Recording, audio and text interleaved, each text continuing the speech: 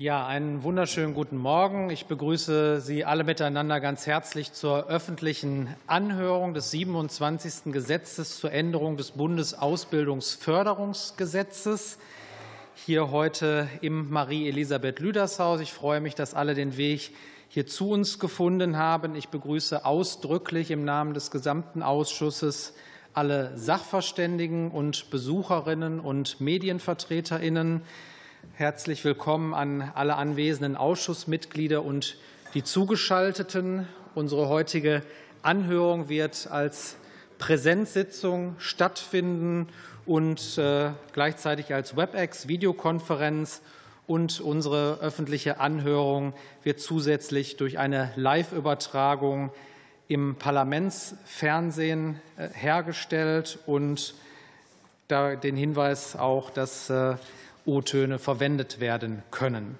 Die Sachverständigenrunde besteht aus Matthias Anbuhl, Generalsekretär Deutsches Studentenwerk, aus äh, Franka Bauernfeind, Bundesvorsitzende Ring christlich-demokratischer Studenten, Sonja Bolenius, Abteilung Bildungspolitik und Bildungsarbeit vom Bundesvorstand Deutscher Gewerkschaftsbund DGB, Lohne Grother, Vorstand Freier Zusammenschluss von Studentinnenschaften e.V., Ulrich Müller, Leiter Politische Analysen Zentrum für Hochschulentwicklung CAE, Dr. Isabel Rohner, Referatsleiterin Bildung der Bundesvereinigung der deutschen Arbeitgeberverbände e.V., und äh, Professor Dr. Ulrike Tippe, Vizepräsidentin der Hochschulrektorenkonferenz HRK und Präsidentin der TH Wildau und Katja Urbatsch, arbeiterkind.de GmbH. Vielen Dank an alle Sachverständigen, dass Sie sich heute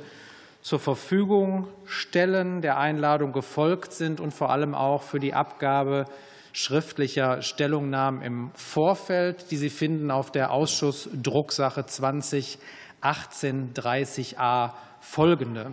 Diese haben auf jeden Fall den Ausschussmitgliedern die Vorbereitung erleichtert. Besten Dank. Zur Struktur ein paar technische Hinweise. Gemäß einer interfraktionellen Vereinbarung werden die Sachverständigen die Gelegenheit haben, zu Beginn ein dreiminütiges Statement abzugeben wäre großartig, wenn Sie nicht überziehen. Der Aufruf wird in alphabetischer Reihenfolge der Sachverständigen erfolgen. Die Reihenfolge der fragenden Berichterstatterinnen richtet sich nach der Fraktionsstärke. Jeder Fraktion stehen in der Berichterstatterinnenrunde fünf Minuten für die Fragen und die Antworten der Sachverständigen zur Verfügung, das sogenannte Frage-Antwort-Kontingent womit wir heute erstmals experimentieren. Gemäß unserer äh, ausschussinternen Vereinbarung probieren wir das aus. Also wer dann bei drei Minuten, zweieinhalb Minuten an fünf Leute fragt, würde dann von fünf Minuten, von fünf Sachverständigen nur 30 Sekunden eine Antwort bekommen können. Das würde nicht funktionieren. Deshalb kurz, prägnant, dynamisch Frage-Antwort. Für die weiteren Nachfragerunden steht jeder Fraktion nach dem sogenannten Achterschlüssel drei Minuten für die Fragen und die Antworten zur Verfügung. Wir versuchen als Ende der Anhörung 12.30 Uhr anzupeilen. Und ich bitte dann die Kolleginnen und Kollegen im Saal zu bleiben für unsere kurze nicht öffentliche Ausschusssitzung. Zur Anhörung wird ein Wortprotokoll erstellt. Und ich hatte schon darauf hingewiesen, dass äh, Live-Übertragung stattfindet, wir in der Mediathek des Bundestages abrufbar sein werden und O-Töne genutzt werden können. Kurze Hinweise noch für alle, die per WebEx zugeschaltet sind. Bitte Mikrofon und Lautsprecher von Anfang an und möglichst durchgängig ähm, dann auf Stumm schalten, um Rückkopplungen hier im Saal zu vermeiden. Im Saal erfolgt die Beratung wie gewohnt über das Saalmikro und die Lautsprecher. Bitte möglichst nah ran und laut reinsprechen, weil die Akustik nicht besonders gut ist. Wenn wir wollen uns ja alle miteinander gut verstehen. Vorlagen unserer Anhörung auf der Bundestagsdrucksache 2016-31, Gesetzentwurf der Bundesregierung und auf Bundestagsdrucksache 2017-34, Antrag der Abgeordneten der Linksfraktion, BAföG existenzsichernd und krisenfest gestalten.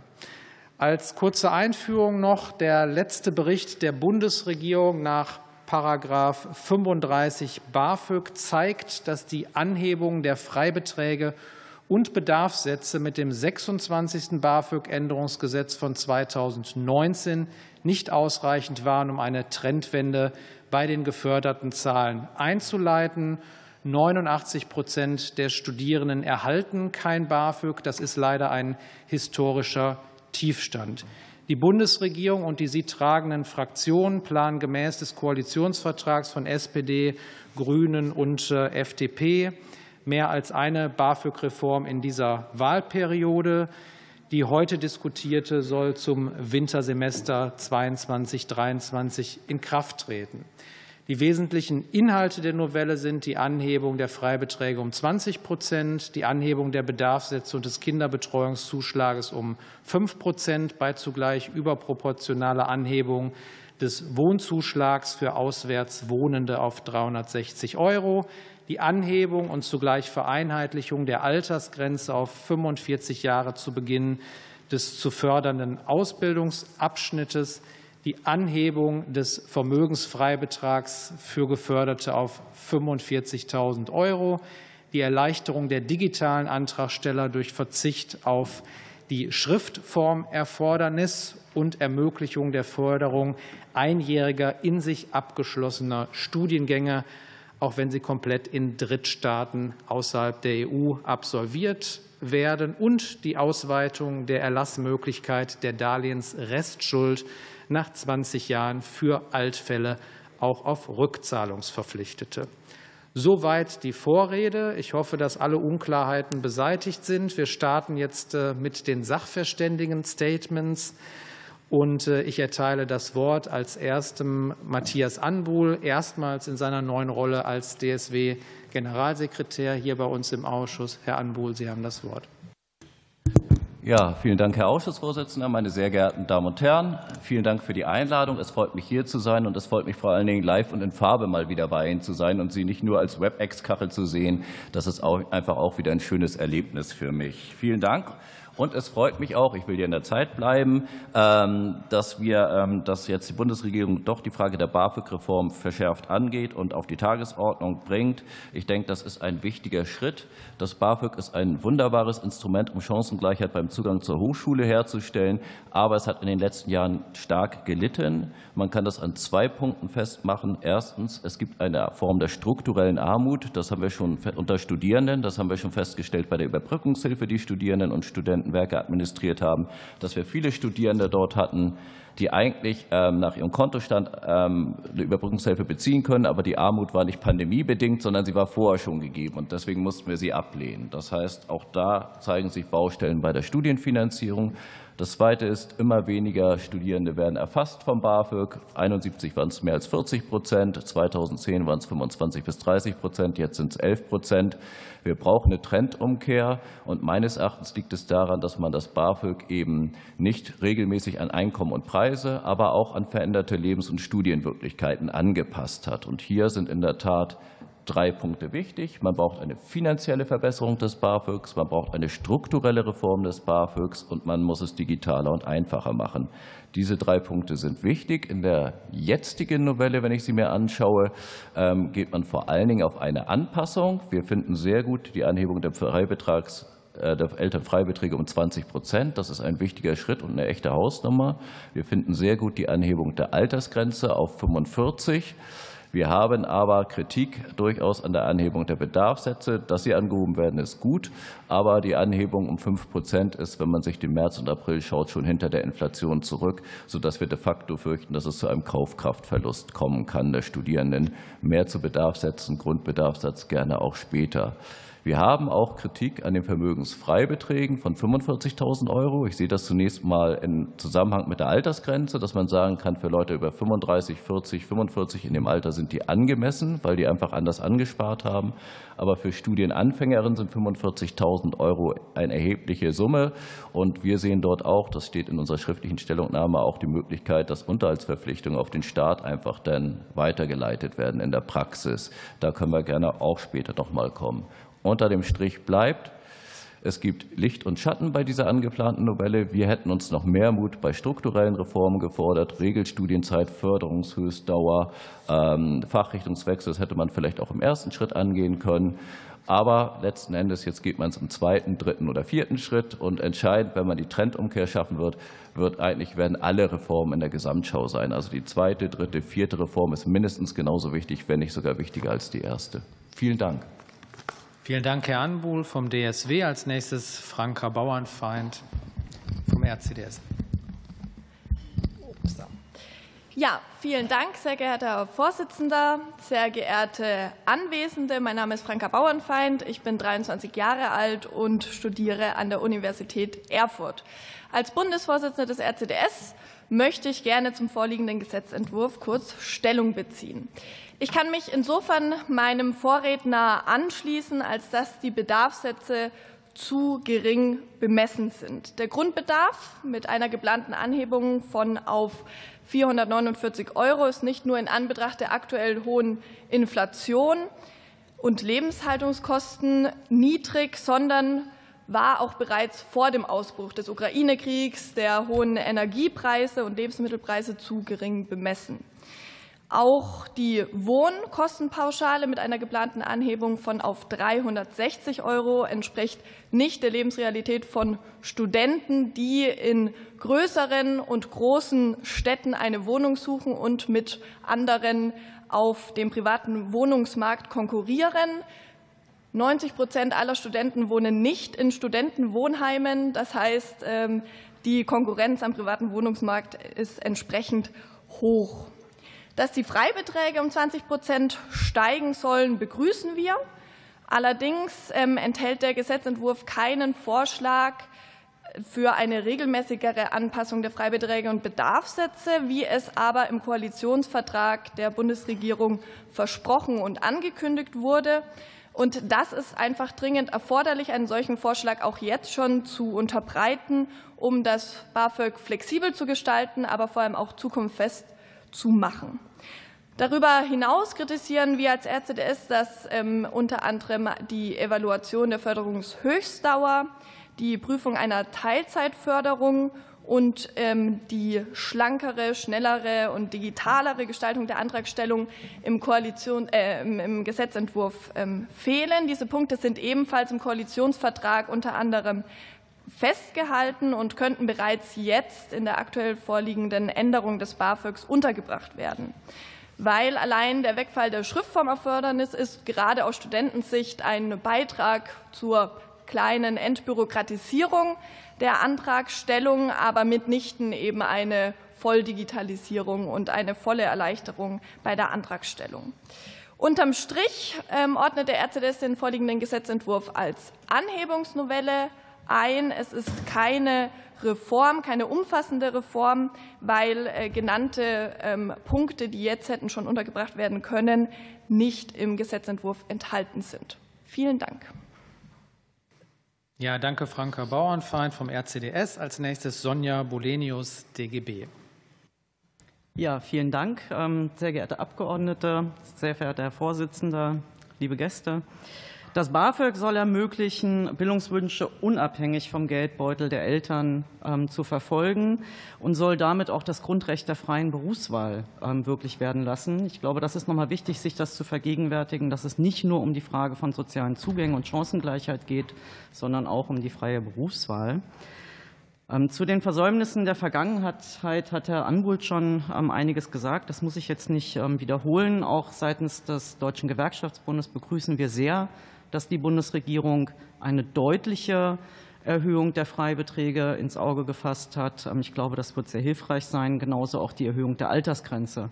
Ähm, ich glaube, das sind zwei sehr, sehr wesentliche Schritte.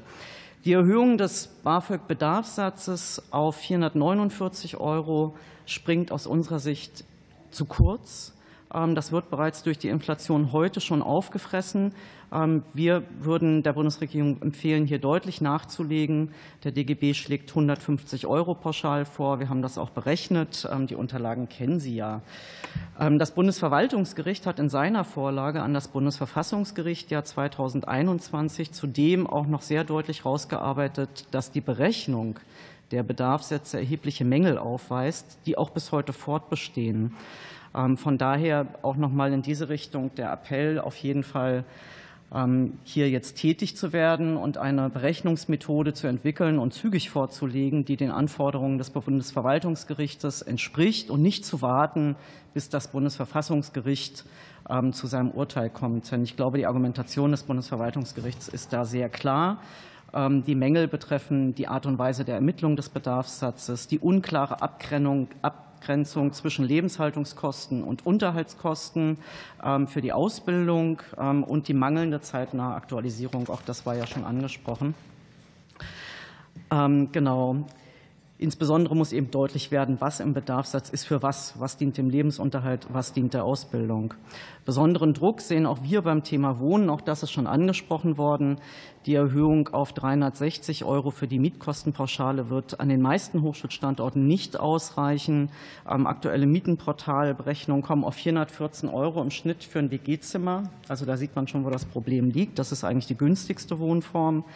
Wir schlagen deshalb vor, sich besser an der Wohngeldtabelle zu orientieren. Damit hätte man auch gleichzeitig eine Regionalisierung und würde auf den Mietenmarkt vor Ort vernünftig reagieren können.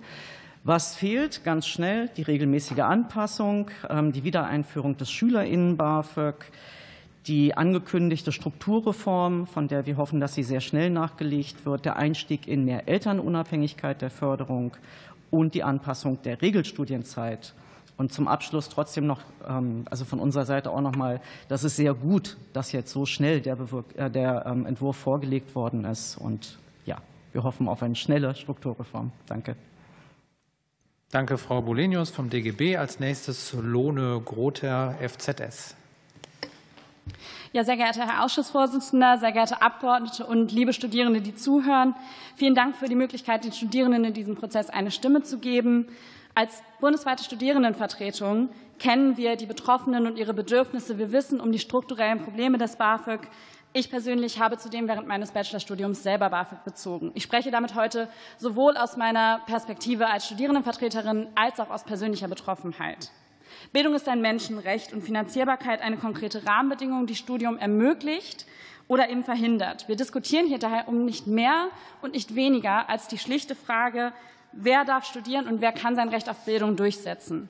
Wenn wir diese Frage eben mit alle beantworten möchten, dann können wir nur zu dem Ergebnis kommen, dass diese Reform unzureichend ist. Denn schon die geplante Erhöhung, das haben schon meine VorrednerInnen ausführlich zusammengefasst, sind zu niedrig. Ich brauche die Zahlen jetzt nicht wiederholen, aber es wird nicht mal die Inflation ausgeglichen. Real brauchen Studierende bis zu 1.500 Euro monatlich. Auch die weiteren Anpassungen sind nicht ambitioniert genug. Eine 20-prozentige Erhöhung der Elternfreibeträge ist ein Schritt in die richtige Richtung, aber erreicht eben noch lange nicht alle. Generell sollte Bildung nicht vom Elternhaus abhängig sein. Dass dies in Deutschland der Fall ist, ist sicherlich einer der Gründe dafür, dass Deutschland europaweit immer wieder auf den letzten Plätzen steht, wenn es um Bildungsgerechtigkeit geht. Sie erreichen damit mit dieser Novelle auch zu wenig Menschen und Aufstieg und mehr Chancengerechtigkeit durch BAföG rückt in weite Ferne. Bedenkt man, dass bei der Einführung einmal 45 Prozent aller Studierenden gefördert wurden und dass es heute nur noch 10 Prozent sind, dann klingt es beinahe zynisch, wenn bei diesen geförderten Zuwachsprognosen immer wieder davon gesprochen wird, was für ein großer Schritt diese Reform sei. Dieser Abfall der geförderten Zahlen kommt nicht daher, dass es Menschen heute besser geht. Das zeigt ja auch die gestern vom Paritätischen Bund veröffentlichte Studie sondern vielmehr daher, dass die Anpassungen zu unambitioniert waren und der Verschuldungszwang Studierende aktiv davon abhält, das BAföG zu beantragen. Dabei fließen jährlich Beträge in Milliardenhöhe zurück in den Bundeshaushalt, weil sie fürs BAföG nicht abgerufen wurden. Selbst der Bundesrechnungshof verweist darauf. Dass jetzt etwa ein halbes Jahr nach der Vereidigung von Ihnen als neue Bundesregierung ein Gesetzentwurf steht, ist ein guter erster Schritt. Doch dieser anfängliche Schwung darf jetzt nicht verpuffen. Denn wie unsere Stellungnahme zeigt, wie aber Sie auch allesamt in Ihren Statements vergangene Woche im Plenum betont haben, diese Reform kann nur ein Anfang sein. Lassen Sie uns daher gemeinsam darauf aufbauen und das BAföG wieder zu dem machen, was es einmal war, ein Instrument für wahre Chancengerechtigkeit. Wir stehen Ihnen dabei gerne jederzeit mit unserer Expertise zur Seite. Wichtig ist und bleibt dabei ein Zeitplan, das möchte ich dann doch noch einmal betonen. Und ähm, ich bedanke mich für die Aufmerksamkeit. Und wir danken Ihnen, Frau Grother vom FZS. Als nächstes äh, Ulrich Müller vom CHE. Vielen Dank, äh, sehr geehrter Herr Vorsitzender, liebe Abgeordnete. Ich sage es mal ostwestfälisch. Es gibt beim 27. BAföG-Änderungsgesetz nichts zu meckern. Und äh, alle Vorhaben sind richtig, alle sind gut, alle sind unterstützenswert. Es gibt nichts zu meckern, aber es gibt auch nicht viel zu feiern großer Jubel bricht bei uns jetzt auch nicht aus. Warum? Ja, zum einen ist, glaube ich, beim BAföG der Nachholbedarf über die Jahre und Jahrzehnte so groß, dass sich möglicherweise das gar nicht mit einem Schlag reparieren lässt. Und zum anderen, das 27. BAföG-Änderungsgesetz hat doch in sich etwas Provisorisches. Es schraubt herum an einem Modell äh, Baujahr 1971, an einem Oldtimer, der sich so, wie er jetzt da steht, vielleicht gar nicht auf den neuesten Stand bringen lässt. Das ist ein bisschen wenn Sie mir das Bild gestatten, wie bei einem Schulbus, vielleicht einem Mercedes-Benz O305, Baujahr 71. Der hat über 50 Jahre Menschen an ihr Ziel gebracht. Gut und verlässlich, hat gute Dinge geleistet. Ähm, ich habe auch persönlich vom BAföG profitiert, hätte auch ohne BAföG nicht studieren können. Und dieser Omnibus fiel zwischendurch immer wieder aus. Er wurde wieder fit gemacht. Aber jetzt bleibt er immer öfters liegen. Er kommt kaum noch zum Einsatz und er droht, zu einem Museumsstück zu werden. Und aus Nostalgie ähm, schraubt man immer weiter rum an diesem Mercedes-Benz 0305. Aktuell mit dem 27. BAföG-Änderungsgesetz ist es eigentlich nicht mehr als ein Ölwechsel oder ein bisschen Luft auf die Reifen zu geben. Der Bus wird nochmal richtig vollgetankt, aber es ändert nichts an der Grundproblematik. Und bei aller Nostalgie, die ja manchmal auch den Blick ein bisschen trübt, müsste man eigentlich jetzt nüchtern sagen, dieser Bus, der hatte seine Zeit. Jetzt brauchen wir wirklich ein Nachfolgemodell, das heutigen Anforderungen entspricht. Also mehr Sitzplätze, Plätze für Kinderwagen, WLAN und Steckdosen an jedem Platz, mehr Reichweite, moderne Assistenzsysteme, Sicherheitssysteme und Niederflurtechnik für einen barrierefreien Einstieg. Also am 27. BAföG-Änderungsgesetz ist nichts falsch. Aber das ist nur eine Zwischenlösung. Wir brauchen ein Nachfolgemodell, ein neues BAföG, vielleicht eine Bundesstudienförderung, einen Neuentwurf, der das Bewährte aufgreift und fortführt, aber insgesamt ähm, ein BAföG zeitgemäß macht, um wieder viele Menschen an ihr Ziel zu bringen. Ich weiß, die nächsten Schritte sind geplant und es ist ein bisschen kleinkariert jetzt zu sagen, das fehlt. Aber vielleicht ist gerade das ein Problem, dass man schrittweise geht und dann das große Ganze ein bisschen aus dem Blick verliert. Und verzeihen Sie, wenn wir weiter drängeln und Druck machen, weil die Studierenden haben Druck. Danke. Ja, vielen Dank, Herr Müller vom CAE. Als nächstes für BDA Isabel Rohne. Ja, vielen herzlichen Dank für die Einladung. Ich habe keine Autometaphorik mitgebracht, möchte aber gerne zu Beginn festhalten, dass auch aus Sicht der Arbeitgeber in Deutschland das BAföG ein extrem wichtiges Instrument ist zur Sicherung der Chancengerechtigkeit in Deutschland, weil es bedarfsabhängig und gezielt junge Menschen unterstützt bei einer ersten schulischen oder akademischen Ausbildung, wenn dies die eigenen Ressourcen bzw. das Elternhaus eben nicht ermöglichen. Die Arbeitgeber halten es daher für extrem wichtig, dass das BAföG auch zukünftig die erreicht, die es brauchen, und dies möglichst unbürokratisch und weit digitaler passiert, als dies aktuell der Fall ist. Bei der vorliegenden Novelle gibt es äh, Punkte, die wir unterstützen, aber auch mehrere Punkte, die wir sehr kritisch sehen. Ich fange mit dem Positiven an. Vor dem Hintergrund der aktuellen Inflation unterstützen wir die Zielsetzung des vorliegenden Referentenentwurfs, die Bedarfssätze und Wohngeldzuschüsse anzupassen und die Einkommensfreibeträge von Eltern um 20 Prozent zu erhöhen. Wir hätten uns allerdings gewünscht, und hier will ich ganz ehrlich sein, dass hier auch eine Evaluation der letzten BAföG-Reform zugezogen wird mit der Chance, dass man eben noch zielgerichteter ähm, Anpassungen vornehmen kann. Wir bedauern es ausdrücklich und sehr, dass eine solche Evaluation der letzten BAföG-Reform bis heute nicht vorliegt. Positiv sehen wir auch, dass mit der, mit der vorliegenden Novelle eine stärkere Digitalisierung angestrebt wird. Aus unserer Sicht muss es das Ziel sein, konsequent und medienbruchlos zu digitalisieren, und zwar von der Antragstellung bis zur zügigen Bewilligung. Was wir hingegen am vorliegenden ähm, Referentenentwurf sehr kritisch sehen, ist dass sich der vorliegende Gesetzesentwurf in der Förderlogik und im Charakter des BAföG vom bisherigen BAföG unterscheidet und sich davon entfernt. Bislang und nach 68 SGB I war das BAföG eine Sozialleistung. Mit der aktuellen Novellierung sollen nun aber auch Personen gefördert werden können, die selber über ein beträchtliches eigenes Vermögen verfügen. Matthias Anbuhl hat es vorhin auch angesprochen. Durch die Anhebung der Vermögensfreibeträge von aktuell 8.200 Euro auf zukünftig 45.000 Euro setzen wir hier falsche Anreize. Eine solche Veränderung ist aus unserer Sicht nicht gerechtfertigt und im Sinne des BAföG sogar sozial ungerecht, da auch Geringverdienende über ihre Steuerleistung das BAföG mitfinanzieren. Diese Abkehr von der Sozialleistung BAföG lehnen wir ab. Zwar halten wir es für nachvollziehbar und vor dem Hintergrund des Arguments der Verschuldungsängste bei, äh, auch, auch sinnvoll, Vermögensfreibeträge anzuheben, aber wir sehen da eine klare Grenze bei 15.000 Euro. Auch die Erhöhung der Altersgrenze auf 45 Jahre sehen wir kritisch. Gerade bei älteren Personen halten wir es für sinnvoller, berufsbegleitende Studien- und Qualifizierungsangebote zu nutzen. ich komme kommen. zum Schluss.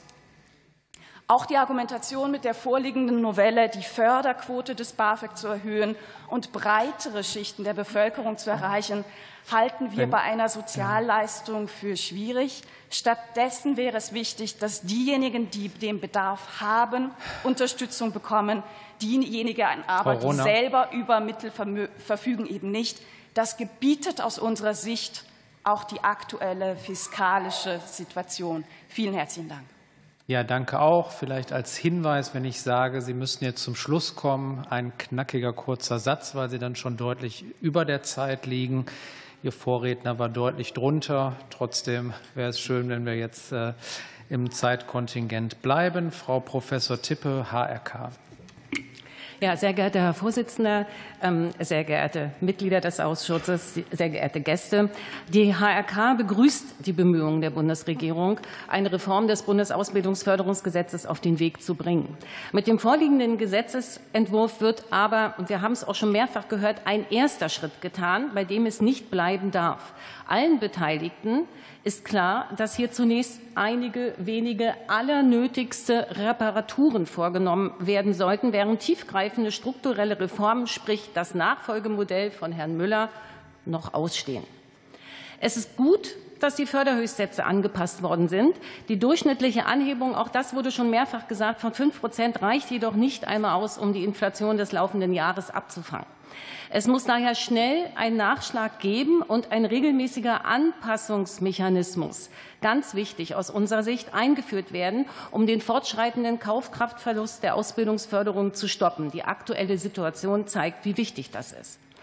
Wir begrüßen auch die Anhebung der Elternfreibeträge und die Erhöhung der Förderquote und haben gleichzeitig ganz erhebliche Zweifel, dass die geplante Justierung ausreicht, eine signifikante Wirkung zu erzielen. Die Entwicklung der Förderquote ist nach Inkrafttreten der Änderung genau zu beobachten, Stichwort Evaluation, um schnell und konsequent nachsteuern zu können, damit das BAföG seinen Zweck als Ermöglicher von Chancengleichheit und Gerechtigkeit im Bildungswesen nicht endgültig verliert.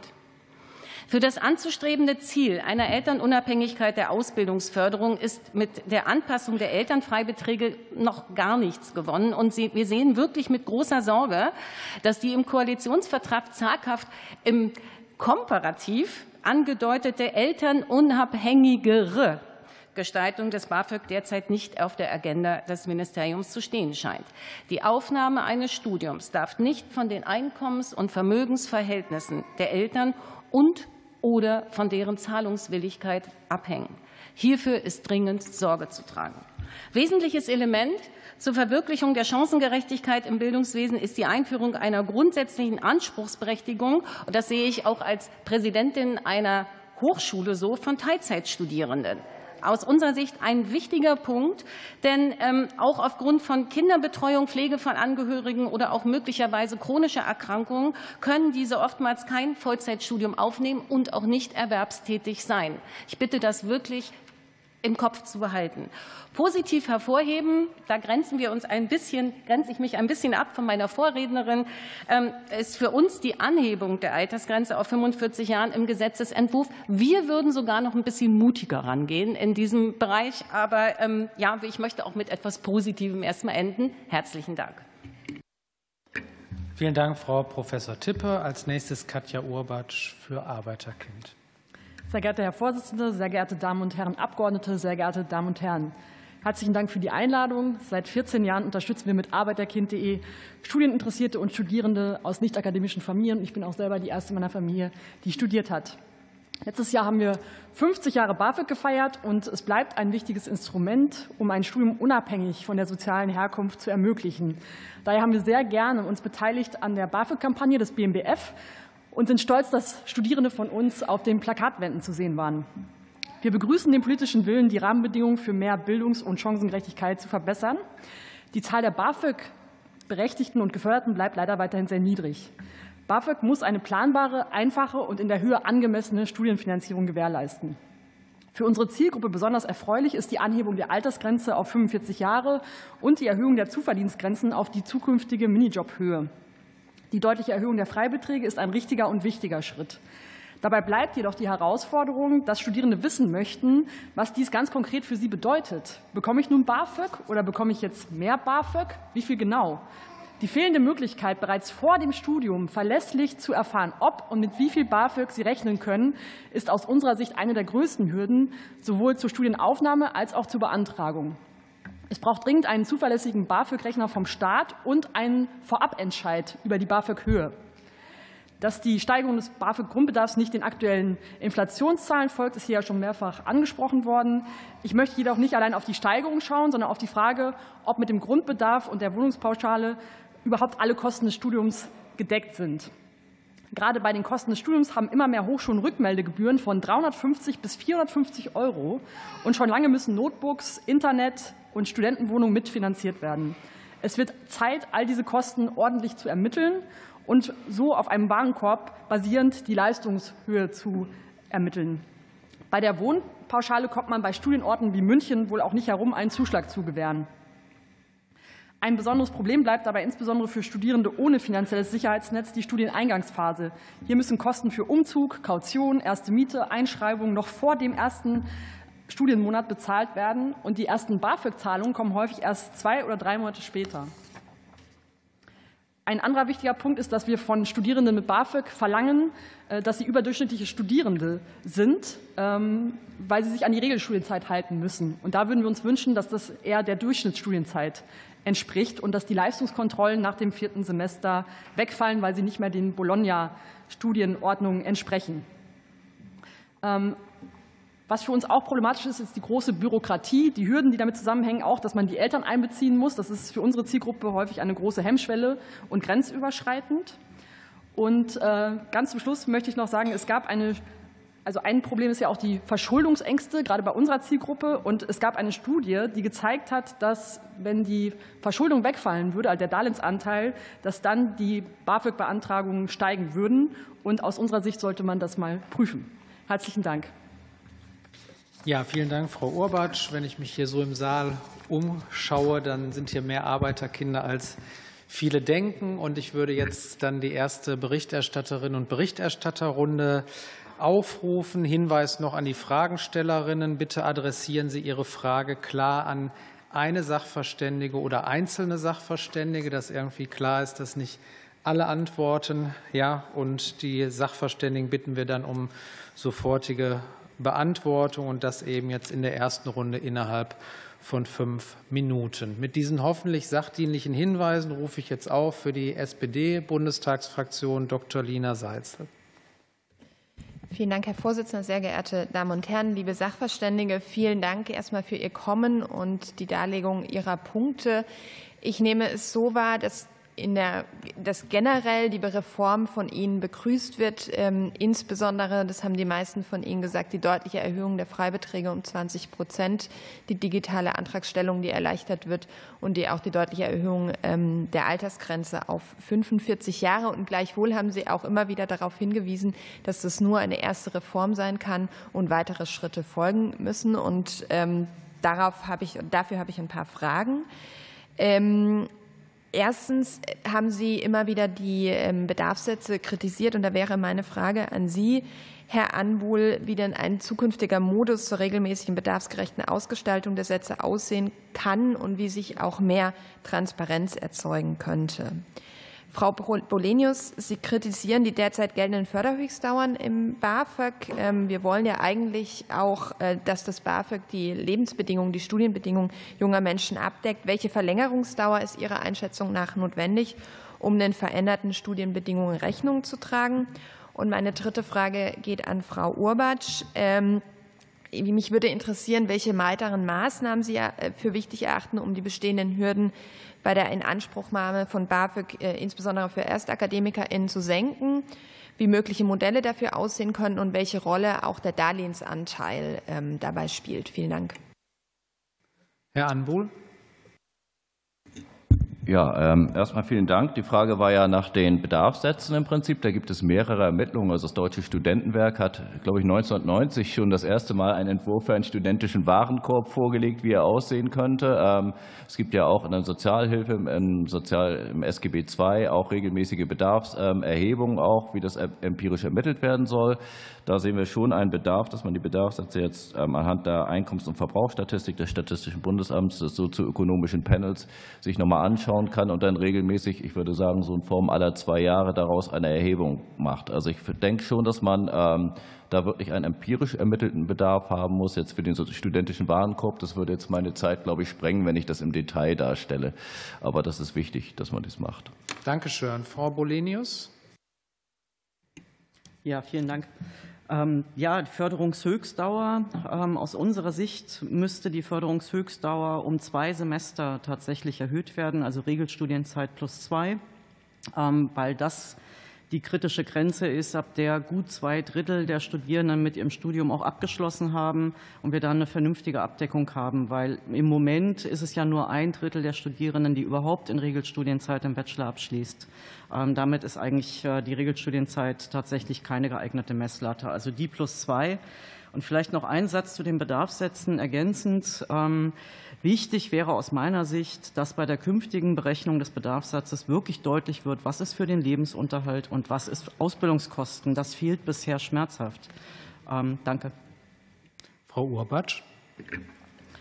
Ja, also wie ich eben schon sagte, sind gerade Menschen aus finanzschwachen Familien auf eine Finanzplanung angewiesen. Das heißt, es ist wirklich wichtig, dass man bereits vor dem Studium herausfinden kann, wie viel BAföG bekomme ich und dass das auch verlässlich ist. Und dann ist wichtig, dass das BAföG wirklich kommt, wenn die Kosten entstehen. Und das ist eben häufig schon vor dem Studium. Und das ist wirklich hochproblematisch. Das sind manchmal über 1000 Euro. Also ich hatte gerade wieder eine Studentin, die hat monatelang auf ihr BAföG gewartet und äh, musste sich durchhangeln. Und ähm, auch der Bürokratieaufwand ist eben enorm. Ja, also das muss einfach schlanker werden und schneller. Äh, die Bearbeitungszeiten sind eben lang. Ähm, die Eltern mit einzubeziehen, also die Vielleicht mögen Sie auch mal BAföG-Anträge ausfüllen, aber es überfordert einfach viele. Die haben häufig nicht die Kompetenzen, ähm, die Beanträge auszufüllen und es dauert zu lange, ist zu kompliziert. Äh, und da würde ich mir wünschen, dass das einfach alles einfacher wird und auch dann im Studienverlauf. Und eben die Frage mit der Verschuldung, das ist ein ganz großes Thema. Die Angst davor, weil sie sich nicht vorstellen können, dass sie es später mal zurückzahlen können. Vielen Dank. Noch eine Nachfrage? Genau, ich hätte noch eine Nachfrage zu den Vermögensfreibeträgen von 65.000 Euro sind ähm, kritisiert worden. Herr Anwohl, Sie schlagen eine Staffelung vor. Wie kann die denn genau aussehen? Haben Sie da eine Vorstellung? Herr Anbuhl? Ja, ich bin jetzt nicht sicher, ob ich es akustisch eben richtig verstanden habe. Das war die Frage nach einer Staffelung eigentlich. Denn also was wir uns vorstellen können, ist, dass man eine Altersstaffelung macht, Altersgrenzen einzieht, wo man sagt, ähm, weil wir sagen, die Studienanfängerin ähm, mit 18, vielleicht bis 25 Jahren hat einen anderen Bedarf jetzt als jemand, der 40 bis 45 ist. So würde ich das ähm, staffeln einfach nach Alter und aufsteigend dann machen, erhöhen die Preise. Vielen Dank. Dann kommen wir jetzt zur Berichterstatterin der CDU-CSU-Fraktion, Katrin Staffler. Ja, besten Dank und vielen Dank auch an die Sachverständigen für die ähm, Statements und die Möglichkeit, jetzt Fragen zu stellen. Ich würde meine Fragen gerne stellen an Frau Bauernfeind, weil ich es gut finde, auch tatsächlich die zu Wort kommen zu lassen, die es am Ende des Tages natürlich primär betrifft. Ähm, wir hören ja immer wieder, dass das BAföG ähm, jetzt nicht mehr sehr, ist auch heute angeklungen, nicht mehr so attraktiv ist, wie es vielleicht früher mal war, dass das Image gelitten hat. Wo kann man denn aus Ihrer Sicht ansetzen, um dem entgegenzutreten? Ähm, in dem Zusammenhang wird oft auch von Ungerechtigkeiten im Verfahren gesprochen. Da würde mich interessieren, wo sehen Sie denn diese Ungerechtigkeiten und wie werden die dann auch entsprechend von den Studenten wahrgenommen? Ähm, dann, äh, ich meine, die, die BAföG-Reform ist natürlich eine Herausforderung ähm, mit Blick auf die Bedarfssätze äh, oder beziehungsweise abgesehen von den Bedarfssätzen und den Freibeträgen, ähm, mit Blick auf das, was Sie sich gewünscht hätten. Wo hätte denn die Novelle aus Ihrer Sicht noch sehr viel stärker ansetzen müssen, um auch tatsächlich dann eine Verbesserung herbeizuführen? Vielen Dank, Frau Bauernfeind. Ja, vielen Dank äh, für die drei Fragen. Ich fange mal äh, hinten an bei den Verbesserungen. Ähm, wie auch bereits äh, gerade angeklungen ist, ist eine Evaluation der Förderungshöchstdauer extrem wichtig, weil, auch das wurde bereits gesagt, 30 Prozent aller Studenten schließen in Regelstudienzeit im Bachelor ab ergo 70 Prozent nicht. Dadurch, dass sich das BAföG an der Regelstudienzeit bemisst, haben wir hier eine große Lücke, die Studenten und äh, den Status von Studenten und die finanzielle Lage natürlich entsprechend schwächt. Deswegen, weil es auch eine bundesweite ähm, Evaluation so nicht gibt nach Regelstudienzeit, nach Studiengängen, welche Gründe, vielleicht weil ich eine Familie gründe, vielleicht weil ich ein Praktikum, ein einjähriges im Ausland mache, ähm, was ich mir von meinem Studiengang nicht anrechnen lasse, aber entsprechend für meinen Lebenslauf brauche, um am Arbeitsmarkt später auch zu konkurrieren und äh, konkurrenzfähig zu sein. All das ist ja nicht erhoben. Also was sind die Gründe für eine verlängerte Regelstudienzeit? Und diese Evaluation braucht es auf jeden Fall, die ja auch angekündigt war. Ähm, außerdem das Thema Teilzeitförderung. Viele Studenten studieren in Teilzeit. Ob auch das die Gründe sind, weil sie, sich, weil sie eine Familie gründen oder andere Gründe, ähm, ähm, muss das auf jeden Fall geprüft werden. Auch das ist, war angekündigt und das hätte eine echte Verbesserung für Studenten am Campus zur Folge gehabt. Ähm, bezüglich des Images ähm, kann man sagen, ja, das Image des BAföGs ist auf jeden Fall ausbaufähig. Ähm, jetzt kann man sagen, die Gründe sind vielleicht aus Unflexibilität des BAföGs ähm, wegen großer oder wegen Hürden bei der Beantragung, Thema Digitalisierung oder auch der Angst vor Verschuldung. Unabhängig, ob diese Gründe jetzt gerechtfertigt sind oder nicht, das will ich gar nicht sagen, sondern das führt dazu, dass eben das BAföG eigentlich ein ja, mittelmäßiges Image hat. Und ähm, da wäre es wichtig, auch das im Koalitionsvertrag angekündigt, eine gezielte Kampagne fürs BAföG äh, mit all diesen Themen, die man aufgreift, ähm, an die Studenten äh, heranzutragen, vielleicht auch schon an die Schüler. Frau Obertsch hat es gesagt, dass man eben vorher weiß, ähm, was kann mir das BAföG alles ermöglichen, wie führt es zur Bildungsgerechtigkeit. Der letzte Punkt. Die Ungerechtigkeiten hatte ich letztendlich eigentlich schon ähm, benannt, ein bisschen äh, in der äh, Teilzeitförderung. Ähm, beim Prozess ist natürlich das äh, Thema Digitales, digitale Antragstellung ein, ein Riesenthema, das eben so immer noch nicht auch umgesetzt ist. Ähm, die letzte Regierung hatte ja BAföG digital eingeführt, also die Möglichkeit, das Ganze auch digital jetzt zu beantragen. Allerdings ist das natürlich jetzt nicht voll digitalisiert und das würde ich mir jetzt wünschen für die Studenten, dass es die jetzige Koalition auch angeht. Frau Staffler, noch eine Nachfrage? Ja, ich würde gerne noch mal auf ein Thema kommen, das jetzt auch schon angeklungen ist ähm, in den vorhergehenden Fragen und Statements, und zwar das Thema elternunabhängigeres BAföG. Ähm, da wissen wir ja, dass, ähm, dass Sie das nicht unbedingt äh, befürworten. Mich würde interessieren, welche Befürchtungen Sie denn mit Blick auf die Zukunft haben, wenn das Ganze elternunabhängiger wird. Ich vermute, dass die Frage sich wieder an Frau Bauernfeind richtet. Okay, Frau Bauernfeind. Okay, ich mache es ganz schnell. Äh, ich schließe mich der Frau Rohner ähm, an. Ähm, aus zwei Punkten. Die, das BAföG muss Sozialleistung bleiben, weil es, wenn es nicht Sozialleistung ist und eben ein Grundeinkommen für Studenten ist, ähm, ja, jetzt ist die Zeit abgelaufen. Darf ich noch antworten? Also den Satz beenden auf jeden Fall, aber schnell.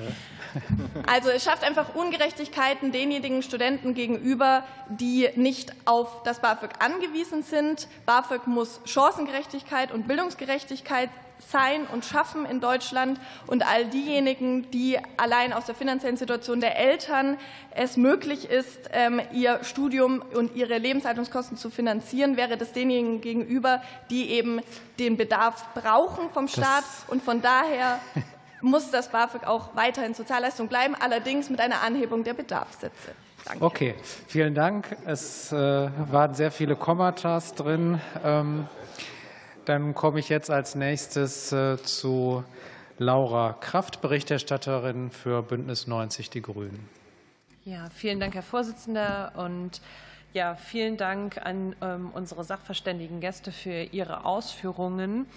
Und ähm, Frau Urbatsch hat ja eben ausgeführt, ähm, ja, welche bürokratischen Hürden auch mit, dem, äh, mit der Beantragung ähm, des BAföG einhergehen. Und Sie haben ja eben gesagt, ob jemand von uns schon mal einen BAföG-Antrag ausgefüllt hat. Und ich glaube, ähm, das äh, würde ich gar nicht so in Frage stellen. Es gibt bestimmt auch mehr Leute als wir denken in dieser Runde, die das schon mal gemacht haben. Und meine Frage ähm, an Herrn Anwohl wäre in Bezug darauf, ob Sie ja eine Einschätzung abgeben könnten, welche Zeitersparnis ja, vermutlich ähm, erfolgen könnte, wenn wir die BAföG-Beantragung bzw. die Bearbeitung des BAföG-Bescheids, wenn wir diese Prozesse digitalisieren, ob es da eine Einschätzung seitens der ähm, Studierendenwerke gibt.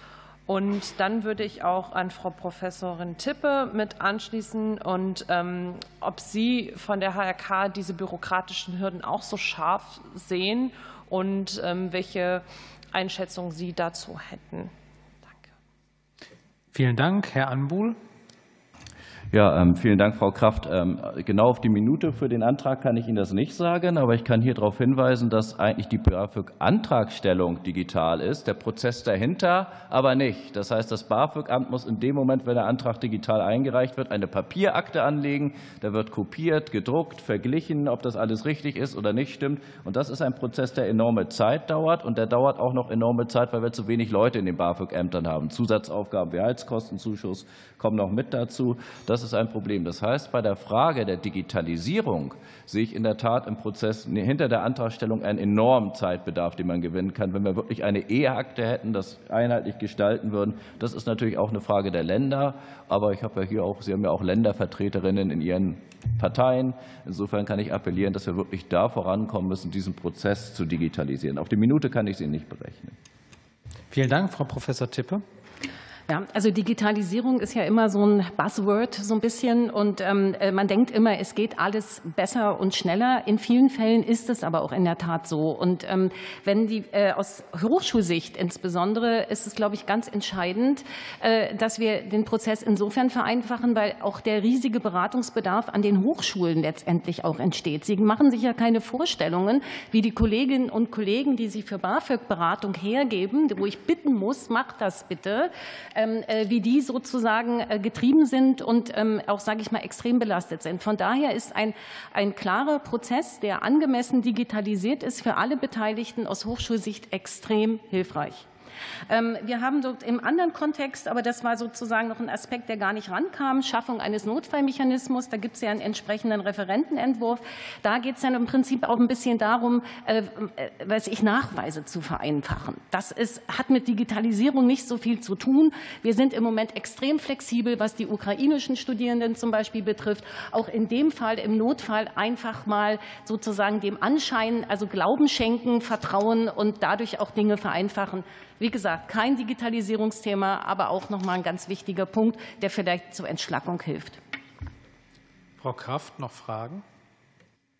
Ähm, ja, Sie haben die äh, Nothilfe angesprochen. Ähm, dann würde ich an Sie zurückfragen, welche Bedingungen würden Sie sich dann für die Nothilfe wünschen? Wie müsste das dann aussehen?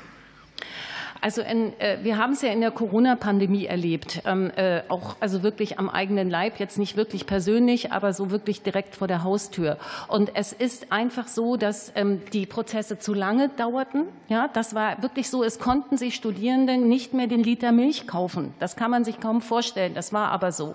Und ähm, das heißt also sozusagen, die, die, die Reaktionszeit muss natürlich kürzer werden. Und ich sagte es schon, äh, die Nachweise, dass man also möglich, möglicherweise wirklich in der Situation ist, in einer akuten Notsituation. Äh, da muss man etwas ähm, entspannter mit umgehen. In Krisenzeiten ist die Perfektion der größte Feind des Guten.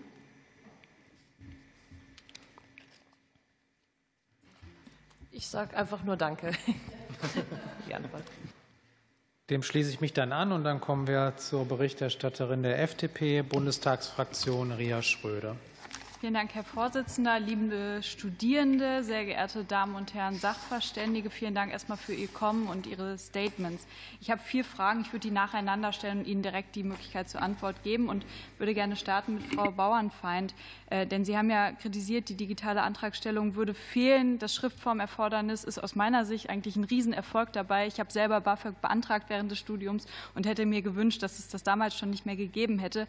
Deswegen, trotzdem die Verwaltung ja bei den Ländern liegt, was haben Sie noch für Vorschläge? Was können wir als Bund noch dazu beitragen, die Antragstellung digitaler und einfacher zu machen? Ja, vielen Dank für die Frage. Also es ist ja aktuell so, dass die Antragstellung digital ähm, läuft, also ob jetzt ohne Schriftformerfordernis oder mit. Ähm, allerdings ist es so, da kennt sich der Herr Anbuhl besser aus, dass äh, ja die ähm, äh, Bürokratie nicht voll digitalisiert ist. Also es ist so, dass ja in den BAföG-Ämtern die entsprechenden Anträge nicht mit einer E-Akte äh, funktionieren, sondern ausgedruckt werden und abgeheftet werden. Also all das ähm, sind ähm, Punkte, ob E-Akte oder dass man mit einer E-ID das Ganze beantragen kann. Das sind alles Sachen, die man angehen könnte, wo man vielleicht auch evaluieren müsste, wie ist denn die E-ID unter den Studenten überhaupt da? Bei einer Beantragung vom Personalausweis kriegt man die EID mittlerweile einfach mit. Also das wären Vorschläge, wie man das auch erleichtern könnte und auch wie man Betrugsfällen vorbeugen könnte. Vielen Dank.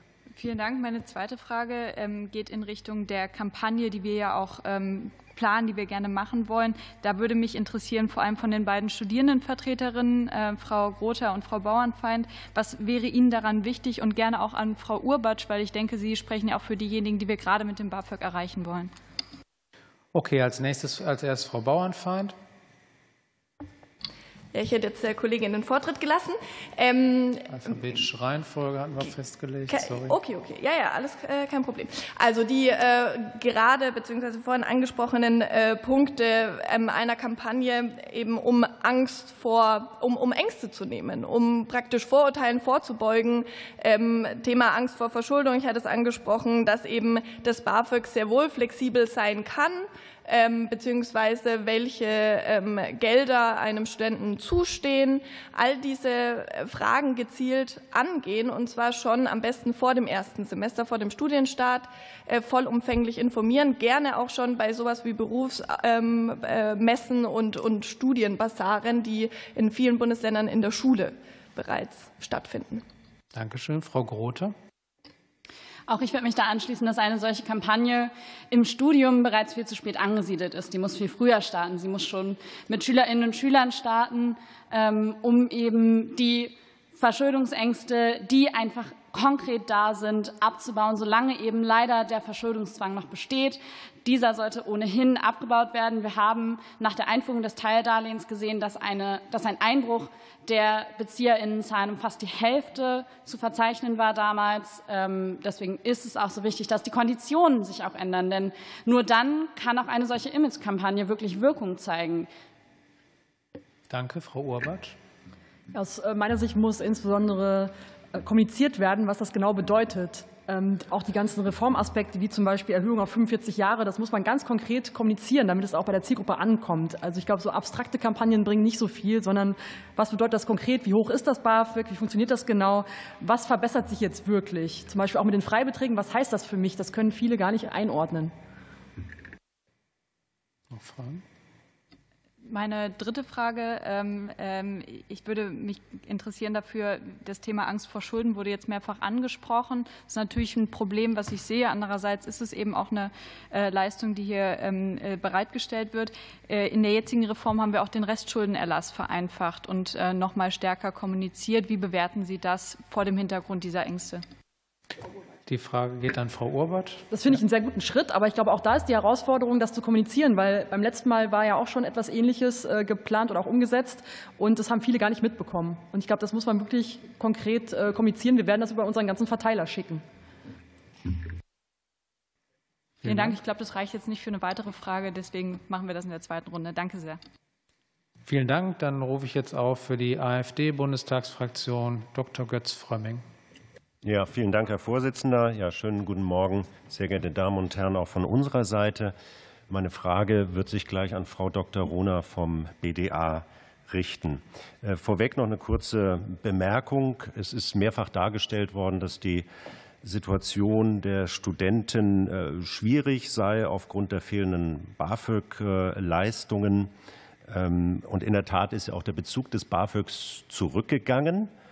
Gleichzeitig müssen wir aber doch konstatieren, dass die Zahl der Studenten nicht zurückgegangen ist und allein in den zehn letzten Jahren von zwei Millionen auf drei Millionen angestiegen ist. Also hier wäre in der Tat mal eine Evaluation ganz interessant, denn äh, ganz so schlimm scheint das Studentenleben dann ja doch nicht zu sein heutzutage, wenn so viele Menschen, was erfreulich ist, sich nach wie vor für ein Studium entscheiden. Ganz kurz zu unserer Position. Wir meinen auch, BAföG soll keine ist eine Sozialleistung und soll kein Grundeinkommen für Studenten werden. Das würde nämlich auch bedeuten, dass die Förderung für den Einzelnen, der wirklich bedürftig ist, nicht äh, hoch genug äh, wäre. Wir teilen den Ansatz, dass der Regelsatz erhöht werden muss bei denen, die tatsächlich BAföG brauchen. Wir sprechen uns ferner auch dafür aus, Zuschuss und Kredit zu entkoppeln, sodass es möglich wäre, ohne Verschuldung sich beispielsweise nur für den Zuschuss zu entscheiden und so ohne Schulden dann in das Berufsleben zu starten. Des Weiteren schlagen wir vor, das war heute noch gar kein Gesprächsgegenstand, dass die Leistungskomponenten, also Erlass äh, des Kredites bei entsprechenden sehr guten Studienleistungen, die sollten unserer Meinung nach noch ausgewertet werden. Ja, die Frage jetzt an Frau Dr. Rohner. Ähm, Sie haben sich auch beschäftigt mit den möglichen Auswirkungen dieser Reform und der vielleicht noch folgenden weiteren Reformen, wenn die in die gleiche Richtung sich bewegen. Welche Auswirkungen erwarten Sie für die berufliche Bildung und das Handwerk, wenn diese Reform so wie vorgelegt umgesetzt würde, beziehungsweise wenn die Entwicklung in dieser Richtung weiterginge? Frau Rohner.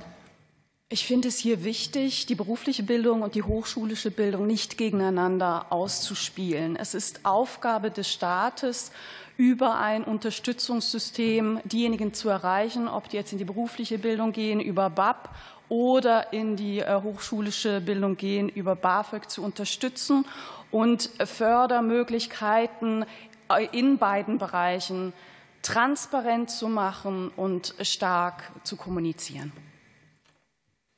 Weitere Fragen, Herr Frömming? Ja, äh, noch eine Nachfrage, die bezieht sich jetzt ebenfalls auf die, in diesem Fall auf die schriftliche Stellungnahme des BDA.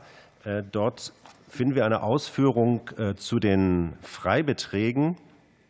Sie kritisieren die Erhöhung des bisherigen Vermögensfreibetrags von 8.200 Euro auf 45.000 Euro ähm, und äußern sich dann auch noch mal zu dem Vergleich mit dem Aufstiegs Fortbildungsförderungsgesetz. Vielleicht könnten Sie das noch mal kurz erläutern, ähm, was Sie damit meinen oder warum an dieser Stelle aus Ihrer Sicht der Vergleich hier nicht ganz zutreffend sei. Frau Dr. Rohner. In der Tat wird im Referentenentwurf bei der Erhöhung des Vermögensfreibetrags von aktuell 8.200 auf 45.000 Euro damit argumentiert, hier sich am AFBG, am Aufstiegsfortbildungsförderungsgesetz, orientieren zu wollen. Ähm, zwischen BAföG und AFBG gibt es grundlegende Unterschiede. Das BAföG ist eine Sozialleistung, soll sich an Bedürftige Schülerinnen, Schüler, Studieninteressierte wenden. Das AFBG wiederum ist ein Anreizsystem für die berufliche Aufstiegsfortbildung. Wir haben hier ganz unterschiedliche Zielgruppen und wir finden das sehr wichtig, das mit zu berücksichtigen, wenn man an das eine oder das andere Gesetz rangeht. Die Unterschiede sind hier weit größer. Noch Fragen der Dankeschön, keine Fragen. Okay, dann rufe ich auf äh, für die Linksfraktion Nicole Gohlke. Vielen Dank. Ähm, einen ganz herzlichen Dank äh, auch äh, von unserer Seite an die Sachverständigen für die sehr hilfreichen Stellungnahmen und Ausführungen. Ich denke, bis hierhin kann man äh, bilanzieren, dass die geplanten Anpassungen noch sehr punktuell und zu wenig struktureller Natur sind, zu wenig individuelle Lebenslagen und auch das lebenslange Lernen berücksichtigen und vor allem aber zu wenig die realen Bedarfe widerspiegeln. Meine ersten beiden Fragen ähm, gehen an die Vertreterin des FZS. Ähm, ich würde die nacheinander auch stellen. Sie haben die, äh, in Ihrer Stellungnahme die letzte Bildungsministerin zitiert, die gesagt hat, äh, man müsse ja auch nicht in den teuersten äh, Städten studieren. Ja, man könne sich das ja aussuchen. Abgesehen davon, dass wir natürlich finden, dass die Wahl des Studienstandortes, den man sich ja auch nicht nur selber aussucht, ja, dass das natürlich keine soziale Frage sein darf. Wie bewerten Sie denn die Situation außerhalb ähm, der größeren und sogenannten teureren und als exzellent geltenden ähm, Studienstandorte? Also würden die neuen Beträge zum Beispiel Beispiel äh, ausreichen, um beispielsweise in Mannheim ähm, studieren zu können? Und wie bewerten Sie dann sozusagen die geplanten Anpassungen eben mit Blick auf die Chancengleichheit der Studierenden? Frau Grote. Ja, vielen Dank. Ich glaube, dieser Satz der ehemaligen Bundesbildungsministerin wird vielen Studierenden noch lange im Kopf nachhallen. Denn damit hat sie im Grunde der freien Studienplatzwahl eine Absage erteilt. Und auch die jetzt geplante Erhöhung macht diese freie Studienplatzwahl noch immer nicht möglich. Selbst wenn wir in Städte gucken wie Mannheim, die vielleicht auf den ersten Blick weniger attraktiv wirken, ähm, dann ist es immer noch so, dass die Wohnkostenpauschale, die jetzt auf 360 Euro angehoben wird, schlicht nicht ausreicht. Also ähm, wir reden da schon für WG-Zimmer von Preisen ähm, von 300 Euro ohne Nebenkosten wie Strom, Gas, Internet etc was ja gerade auch sehr doll im Preis steigt. Und ähm, dementsprechend sind diese Sätze selbst in den günstigeren Städten immer noch realitätsfern. Weitere Fragen der Linksfraktion? Ja, äh, vielen Dank. Meine zweite Frage äh, bezieht sich auf äh, eine ähm, Anfrage der Unionsfraktion, eine kleine Anfrage an die Bundesregierung. Die hatten die im März gestellt und ich fand, da gab es eine bemerkenswerte Antwort drauf, nämlich, ähm, dass sich aus der geplanten Anhebung der Elternfreibeträge ähm, der BAföG-Empfängerinnenkreis in den kommenden Jahren nur sozusagen um 1,29 Prozent erweitern würde. Das war sozusagen die, die Statistik, die da nach einer Modellrechnung des Fraunhofer Institutes ähm, ausgegeben wurde. Wie steht denn diese sehr ernüchternde Zahl eigentlich äh, sozusagen mit dem Ansinnen, dass das BAföG wieder verstärkt die untere Mittelschicht erreichen soll? Und äh, diesbezüglich würde mich natürlich auch die Haltung der Bundesregierung dann vielleicht noch mal interessieren.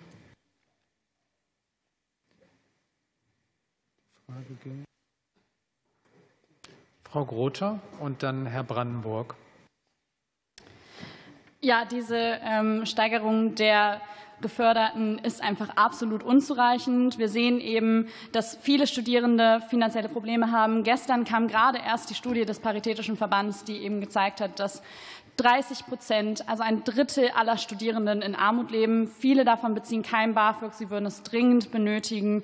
Und so viele mehr werden auch mit den Erhöhungen der Elternfreibeträge noch immer vergessen, weil sie eben genau in eine Lücke, die immer noch in der unteren Mittelschicht besteht, reinfallen und dadurch keinen Anspruch haben. Das muss sich ändern. Auch deswegen nochmal der dringende Appell, die Bedarfssätze an Realitäten anzupassen und die Erhöhungen ähm, ja, nochmal zu überdenken. Danke, Frau Sachverständige. Jetzt ist Herr Brandenburg äh, angesprochen, der natürlich auch sachverständig ist, aber als Staatssekretär spricht. In anderer Rolle, anderer Funktion. Äh, ja, vielen Dank. Also äh, die konkrete Zahl konnte ich jetzt auf die Schnelle nicht nachvollziehen. Ich möchte nur darauf hinweisen, dass insbesondere ähm, da die Reform ja zum Wintersemester in Kraft tritt und nicht rückwirkend zum Januar, natürlich in die, im laufenden Jahr 2022 der Anstieg mit ähm, schätzungsweise 14.000 Empfängern, Empfängerinnen deutlich deutlich kleiner wird, sein wird, als das natürlich im folgenden Jahr mit Größenordnung 47.000 der Fall sein wird. Ähm, das wäre da zu berücksichtigen.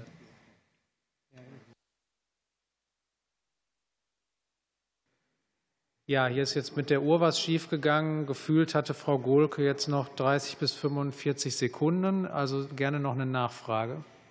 Und wer, die Uhr wird erst auf Null gedreht oder fünf Minuten, ne, wenn äh, alle Fragen durch sind. Ja, ich hätte dann tatsächlich noch eine Frage an Herrn Anbuhl.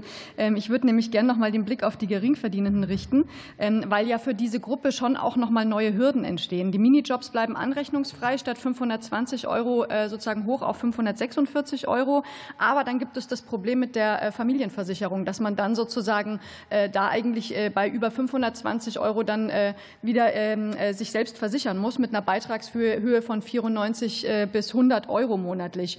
Könnten Sie dazu vielleicht noch mal was sagen? Ich glaube, das hatten Sie ja selber auch in Ihrer Stellungnahme noch mal ähm, stark gemacht, diesen Aspekt. Mit der Bitte um kurze Antwort, Herr Anwohl. Kurze Antwort. Ich wollte einen Satz noch sagen zur Frage vorweg. Wir haben ja auch 40 Prozent der Studierenden, die noch nicht, in, in, äh, die nicht ins BAföG fallen vor einer Einkommensprüfung, weil sie zu alt sind, weil sie zu lange studieren und ähnliches. Das heißt, wenn man eine Trendumkehr schaffen will, ist es wichtig, dass man nicht nur auf die Finanzen schaut, sondern auch wirklich diese strukturelle Reform sich mit anschaut. Ich glaube, das ist nochmal ein wichtiger Punkt. Man kann nicht nur auf die Elternfreibeträge schauen, man muss auch auf die, äh, auf die ähm, strukturellen Reformen schauen. Deswegen ist die zweite Reform auch so wichtig in diesem Bereich. Ähm, und jetzt hatte ich wieder davor die Frage zur Familienversicherung. Jetzt ist die Zeit aber auch rum. Also dann, dann mache ich Sie ganz kurz beim nächsten Mal. Können dann in der nächsten ja, Runde nochmal aufgerufen werden. Okay, ganz herzlichen Dank. Dann kommen wir jetzt zur Nachfragerunde für die SPD-Fraktion. Frau Rosenthal.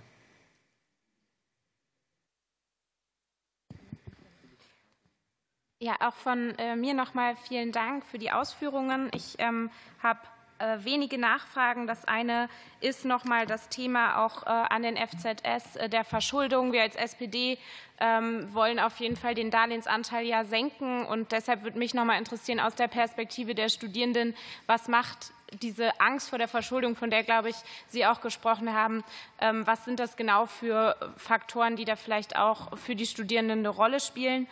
Und ich hätte dann auch an Frau Bolenius noch eine Frage. Sie haben zu Recht ja auch davon gesprochen, dass äh, das Schülerinnen BAföG in der kommenden ähm, Novelle, die wir sicherlich uns auch vorgenommen haben, eine Rolle spielen sollte. In welcher Hinsicht ähm, ist das für Sie ein entscheidender Faktor?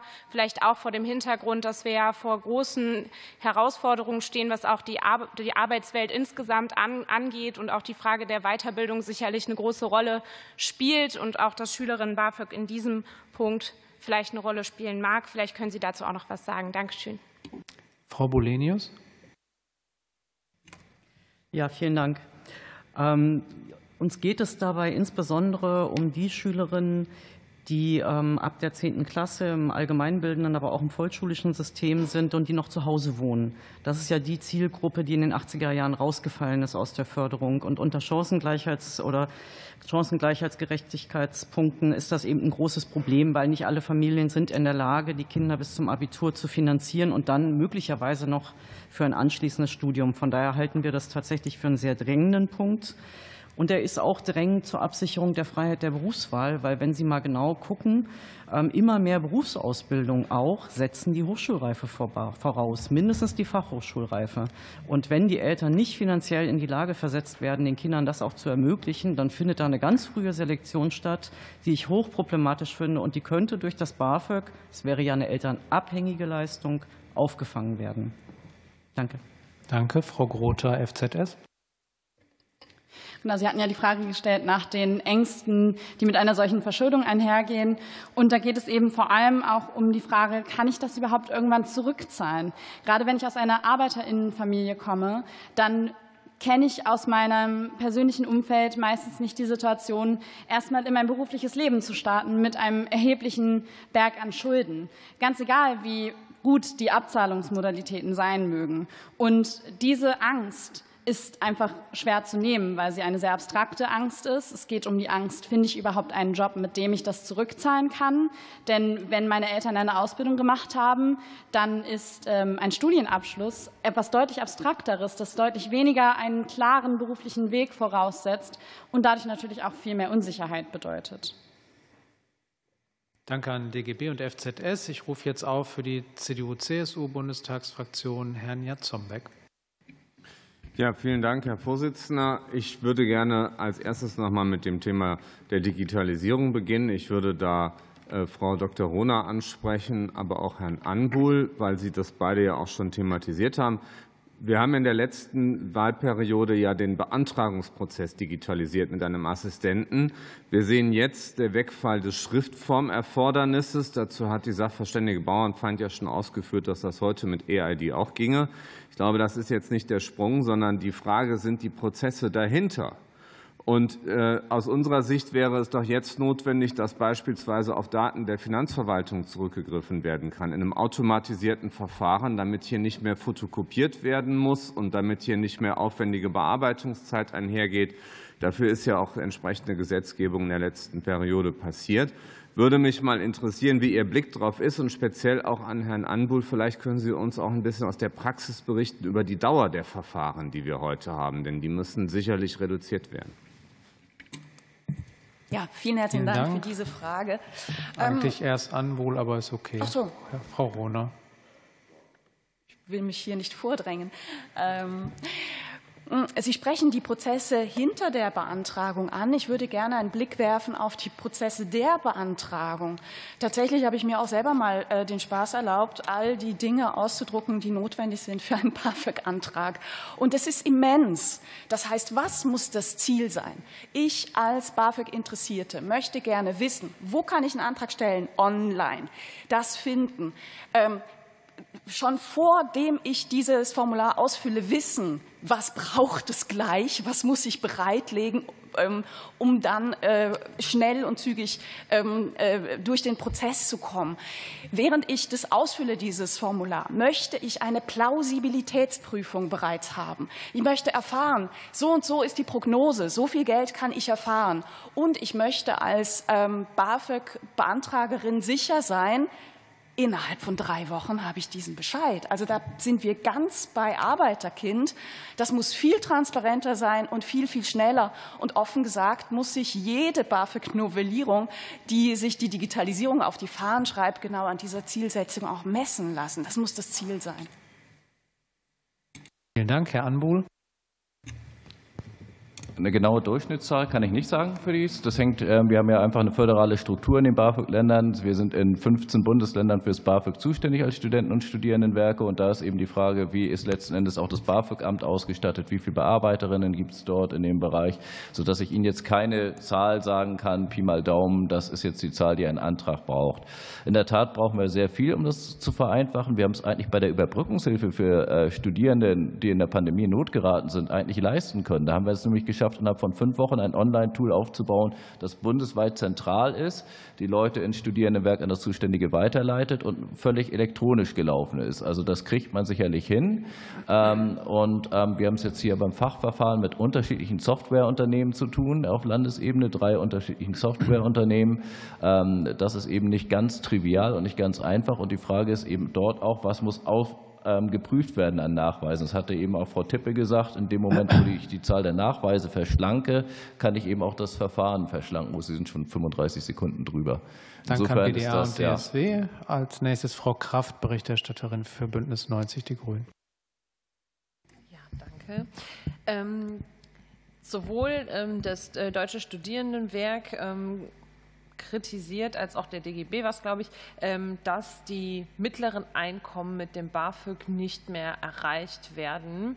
Also ähm, auch untere Mittelschicht beziehungsweise eben ähm, ja, die mittleren Einkommen. Und ja, meine Frage wäre dabei an Herrn Anbuhl, aber auch an, Moment, jetzt muss ich kurz nachgucken, Frau Bolenius aber vielleicht auch an Frau Grother, ähm, ja, wie man das noch mal verändern könnte und ob ähm, die Öffnung, die Erweiterung von Elternunabhängigkeit im BAföG da noch mal einen Beitrag leisten könnte und wenn ja, inwiefern.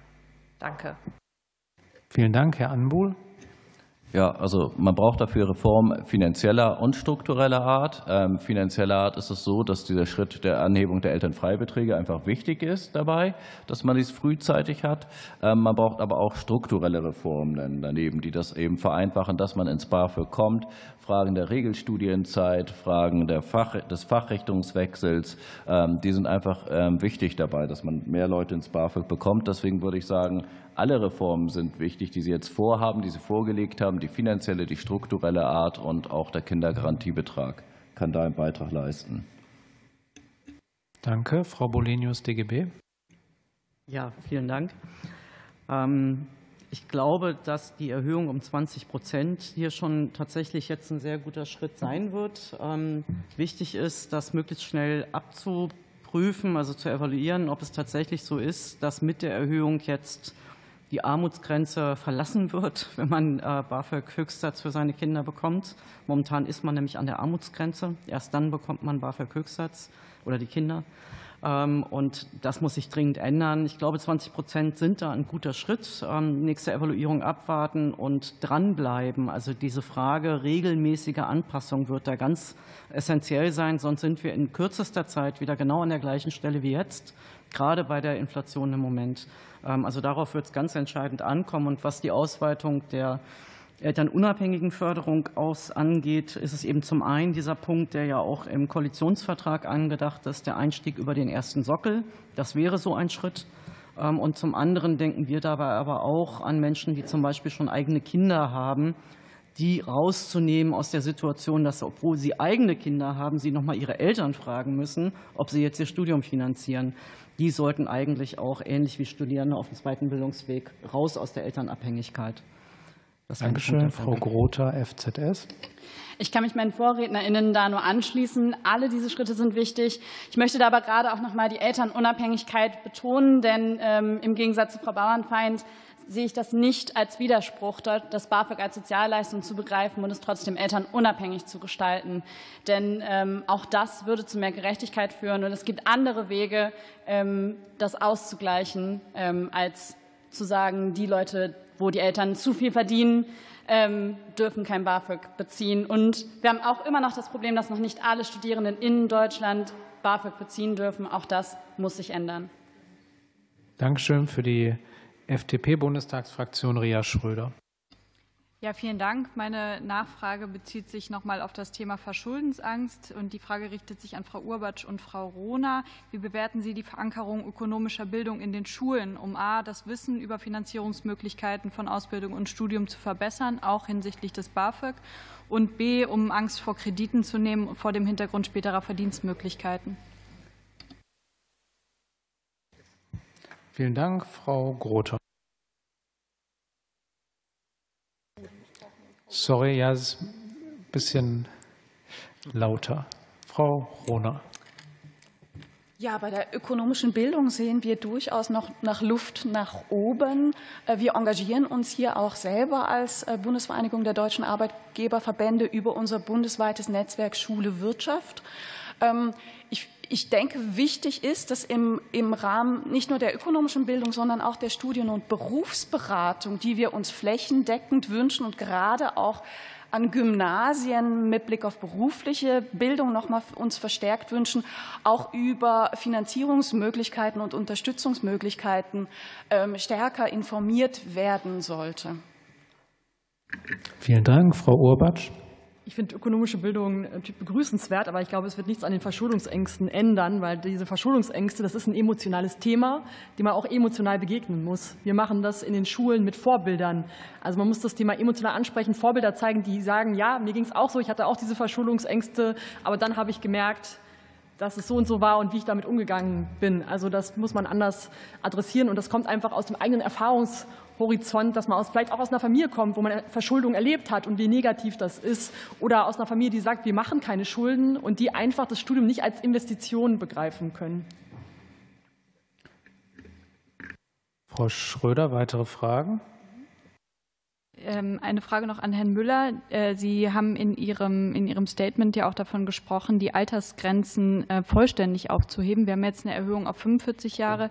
Da würde mich interessieren, ähm, ist das fiskalisch vertretbar, wenn man auch im Rentenalter, sage ich mal, noch BAföG beantragen könnte? Sie kriegen eine ganz kurze Antwort, ja, wenn es nicht geschenktes Geld ist, weil wir reden ja bisher noch von dem Grundmodell des hälftigen Teilens, wobei das ähm, ja mit der Grenze von 10.000 Euro, 10.010 sind es ja genau, ähm, bei weitem nicht die Hälfte ist. Ja, ich bin dafür, dass die Altersgrenze weiter gefasst wird, wenn nicht sogar aufgehoben wird, aber mit anderen Anteilen. Je älter die Studierenden werden und gerade wenn es ähm, auch in fortgeschrittenen Phasen in Richtung Weiterbildung geht, kann man denen zumuten, eben mehr zur Verschuldung, auch äh, in Form der Verschuldung selber einen Anteil zu tragen. Ich sehe das ja nicht ganz so dramatisch mit der Verschuldung. Wir reden hier von einem Betrag, den man erklären kann, bisher auch schon. Die 10.000 Euro ähm, äh, sind natürlich eine Menge Geld, aber machbar. Wenn jemand im Beruf ist, kriegt er das hin über einen so langen Zeitraum mit so kulanten Rückzahlungsregelungen. Und diese Grenze könnte man deutlich aufheben, äh, deutlich erhöhen nochmal für Menschen in fortgeschrittener Lebenssituation. Ich sehe es ein bisschen anders, wenn man natürlich über einen zweiten Bildungsweg kommt oder nach einer Ausbildung noch studiert. Da muss man irgendwie eine andere Lösung finden nochmal. Aber man kann es ähm, Elternsemestern durchaus zumuten, da auch einen höheren Anteil, Eigenanteil zu tragen. Also mit dem zinsgünstigen oder zinsfreien Kredit. Vielen Dank. Vielen Dank. Für die AfD-Bundestagsfraktion Herr Frömming. Ja, danke, Herr Vorsitzender. Ähm, ich würde gerne noch mal eine Nachfrage stellen an Frau Bauernfeind. Und zwar ähm, bewegt uns sehr das Thema, dass wir zwar jedes Jahr fast 500.000 rund äh, Studienanfänger haben, aber im Verlauf des Studiums davon bis zu fast einem Drittel ihr Studium abbrechen. Da sind jetzt nicht die mit eingezählt, die also den Studiengang wechseln, sondern die die Universität ohne Abschluss dann verlassen. Das ist, denke ich, eine, eine extrem hohe Zahl, die uns alle beunruhigen sollte und womit wir auf die Frage kommen, woran liegt das? Ähm, das wäre jetzt auch die Frage an Frau Bauernfeind aus Ihrer persönlichen Einschätzung oder vielleicht aus Ihren Erfahrungen heraus, was Sie von Ihren Kommilitoninnen und Kommilitonen wissen. Spielt hier vielleicht auch das BAföG eine Rolle? Äh, sind es finanzielle Gründe, die dazu führen, dass Studenten äh, ihr Studium abbrechen? Oder sind es doch eher andere Gründe wie äh, gestiegene Anforderungen oder mangelnde Vorbereitung durch das Abitur, durch die Schulen? Wie schätzen Sie diesen Komplex ein? Frau Bauernfeind, RCDS. Ja, vielen Dank. Ich möchte noch auf eine andere Sache angehen, die vorhin aus der AfD-Fraktion kam. Ähm, das Thema Studentenzahlen steigen, BAföG geht runter. Das ist quasi nicht äh, der Fall, dass es auf einmal so und so viel Prozent aller Studenten sehr viel besser geht. Das ist der ähm, der, der Konstellation des BAföGs geschuldet. Von daher möchte ich darauf hinweisen, dass hier kein Kausalzusammenhang besteht. Und es ist gut, dass äh, wir viele Menschen in Deutschland haben, die Lust haben, ein Studium aufzunehmen und dieses auch können was unter anderem auch am BAföG liegt. So viel zu dem Thema. Jetzt zu Ihrer Frage. Ähm, es gibt ganz unterschiedliche Gründe. Ähm, sicher gibt es da auch äh, Erhebungen dazu, ähm, weshalb Leute Studiengänge abbrechen. Ich möchte darauf hinweisen, dass es auch schön ist, wenn sich jemand nach vielleicht zwei Semestern dazu dann doch entscheidet, einen, eine Berufsausbildung beispielsweise zu machen. Was aber fehlt und was auch bei, der, bei den Studienabbrechern durchaus ein Problem ist, bei, beziehungsweise bei dieser großen und hohen Quote, ist das Thema, Informationen über Berufsausbildungen und Studiengänge. Das wurde hier auch von den anderen Sachverständigen bereits abgeschlossen, äh, ähm, angesprochen. Wir müssen es schaffen, dass an allen Schulen egal welche Schule, Gymnasium, ähm, Mittelschulen, Realschulen etc., es eine umfassende Werbung für Berufsausbildung und Studiengänge gleichermaßen gibt, eine Finanzierung, alle Möglichkeiten, die es gibt in Deutschland, damit wir solchen Quoten eben entgegenwirken können. Danke. Dankeschön, Frau Gohlke für die Linksfraktion. Dankeschön. Ich würde gerne eine Frage an Frau Bolinius vom DGB stellen und dann noch mal vielleicht versuchen, dass Herr Anwohl auf meine erste Frage antworten kann. Äh, zuerst an Frau äh, Bolinius. Begrüßenswert an der Novelle ist ja auf jeden Fall die Anhebung der Altersgrenzen im Sinne lebenslangen Lernens und einer diverseren Studierendenschaft. Gleichzeitig wird aber äh, an der Regelstudienzeit und auch am Leistungsnachweis nach dem vierten Semester festgehalten. Und das ist ja doch ein gewisser Widerspruch. Denn gerade Personen, die jetzt zum Beispiel fürsorgepflichtig sind, und davon ist ja jetzt zum Beispiel bei 30 bis 45-Jährigen eher auszugehen, haben natürlich begrenztere zeitliche Kapazitäten. Meine Frage wäre, sehen Sie diesen Widerspruch auch und äh, sozusagen, dass das BAföG insgesamt eher etwas jugendpolitisch oder einem jugendpolitischen Grundgedanken eigentlich verhaftet bleibt? Frau Bolenius. Ja, vielen Dank. Gute Frage. Ähm, ich glaube, dass sich an der, an der Grundausrichtung des BAföG durch die Öffnung oder die Erhöhung der Altersgrenze leider gar nichts ändert bei Paragraph 7 nicht mitgeändert wird. Das heißt, die Rahmenbedingungen im BAföG bleiben eigentlich gleich. Ähm, es wird gefördert, ein erster Abschluss, äh, beruflicher bis zum hochschulischen oder gleichgestellten Abschluss, daran ändert sich überhaupt nichts. Was aber jetzt möglich wird, und das ist das, was wir ausdrücklich begrüßen, ist, dass Menschen, die auf Umwegen aus welchen Gründen auch immer, familiäre äh, Gründe, vielleicht eine Familienpause oder was auch immer, ähm, erst später dazu kommen, dass sie zurück wollen ins geordnete, strukturierte Bildungssystem, dass die jetzt die Möglichkeit haben, durch die Erhöhung der Altersgrenze das auch wirklich zu machen, das auch zu realisieren und da eine Finanzierung für zu bekommen. Es bekommt dadurch niemand mehr. Also diese Sorge, dass das jetzt hier ein Einstieg in die Weiterbildung wäre oder so, die können wir leider nicht teilen. Wir hätten das begrüßt.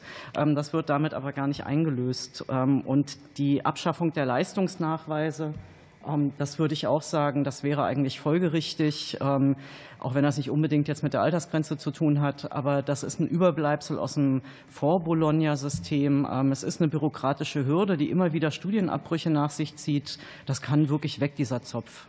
Das ist überflüssig. Das wäre auch wirklich ein Beitrag zur Entbürokratisierung, der nichts kostet. Und Förderungshöchstdauer habe ich vorhin schon angesprochen. Und dann lasse ich Herrn Anbuhl noch ganz kurz Zeit. Er erinnert sich sicherlich noch an die Frage. Herr Anbohl. Hm? Ihr habt die Frage antizipiert aus der ersten Runde. Ja, ähm, das war die Frage der, der Minijobs und der Anrechnung der Familienversicherung komplex. Also wir haben festgestellt in der, ähm, in der Stellungnahme zum Referentenentwurf, dass ähm, wenn man den BAföG-Freibetrag, die angehobene Arbeitnehmersozialpauschale und die rückwirkend angehobenen steuerlichen Arbeitnehmerpauschalbetrag, die Werbungskosten zusammenrechnet, aus BAföG eben nicht mehr nur 520 Euro anrechnungsfrei bleiben, sondern 546,41 Euro. Das führt dazu, dass die Studierenden oder die, die Leute dann eben die 520 ähm, Grenze, äh, die Minijobgrenze überschreiten und wenn sie dann unter 25 Jahre sind, nicht mehr mit Familien versichert werden können. Und das ist dann ein Problem, weil zusätzliche Kosten auf sie ähm, hinzukommen. Darauf haben wir hingewiesen und das wollte Frau Gohlke, glaube ich, ähm, noch mal ansprechen. Hier ist es wichtig, das zu harmonisieren und wir sind auch der Meinung, klar, 61 Prozent der Studierenden jobben nebenbei, aber wir müssen auch aufpassen, dass der Nebenjob nicht eigentlich zum Hauptjob wird. Insofern ist da da auch bei der Grenze drauf zu achten. Vielen Dank, Frau Seitzel, für die SPD-Fraktion.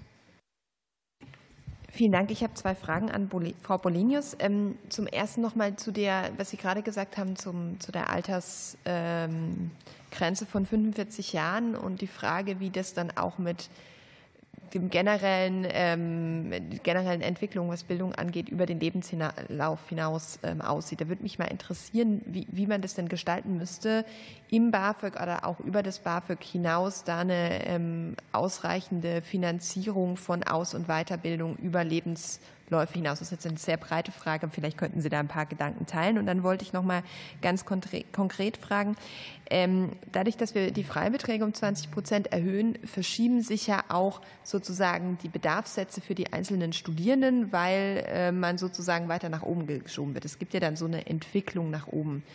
Und da wäre meine Frage, wie Sie denn angesichts der aktuellen Diskussion über die Bedarfssätze diese Entwicklung bewerten. Frau Bolenius, DGB. Vielen Dank.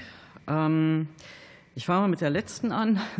Die äh, Steigerung der Freibeträge, ja, na klar. Ähm, dadurch, dass äh, mehr Elterneinkommen anrechnungsfrei bleibt, wird für viele Geförderte der Bedarfssatz, den sie bekommen können, dadurch steigen. Äh, das begrüßen wir grundsätzlich. Ähm, das ist eine gute Folge, ähm, gerade angesichts der steigenden Lebenshaltungs- und Ausbildungskosten im Moment. Ähm, aber es reicht eben nicht aus. Dazu hatte ich ja vorhin schon ausgeführt. Ich glaube, das reicht erstmal. Also wir brauchen einfach eine deutliche Erhöhung der Bedarfssätze. Und was die, die Altersgrenze angeht, im Koalitionsvertrag ist ja schon angelegt, dass Sie sich auch angucken wollen, wie die Lücken zum AFBG geschlossen werden können, also Förderlücken, die es noch zwischen diesen verschiedenen Instrumenten gibt. Wir haben das Weiterbildungs-BAföG mit drin, verschiedene andere Instrumente im Bereich der Weiterbildungsförderung. All das stellt ja dann so ein bisschen die Frage nach sich, okay, wie sieht denn jetzt eigentlich die Gesamtsystematik zur Finanzierung von lebenslangem Lernen aus und wie grenzen sich diese ganzen Instrumente gegeneinander ab?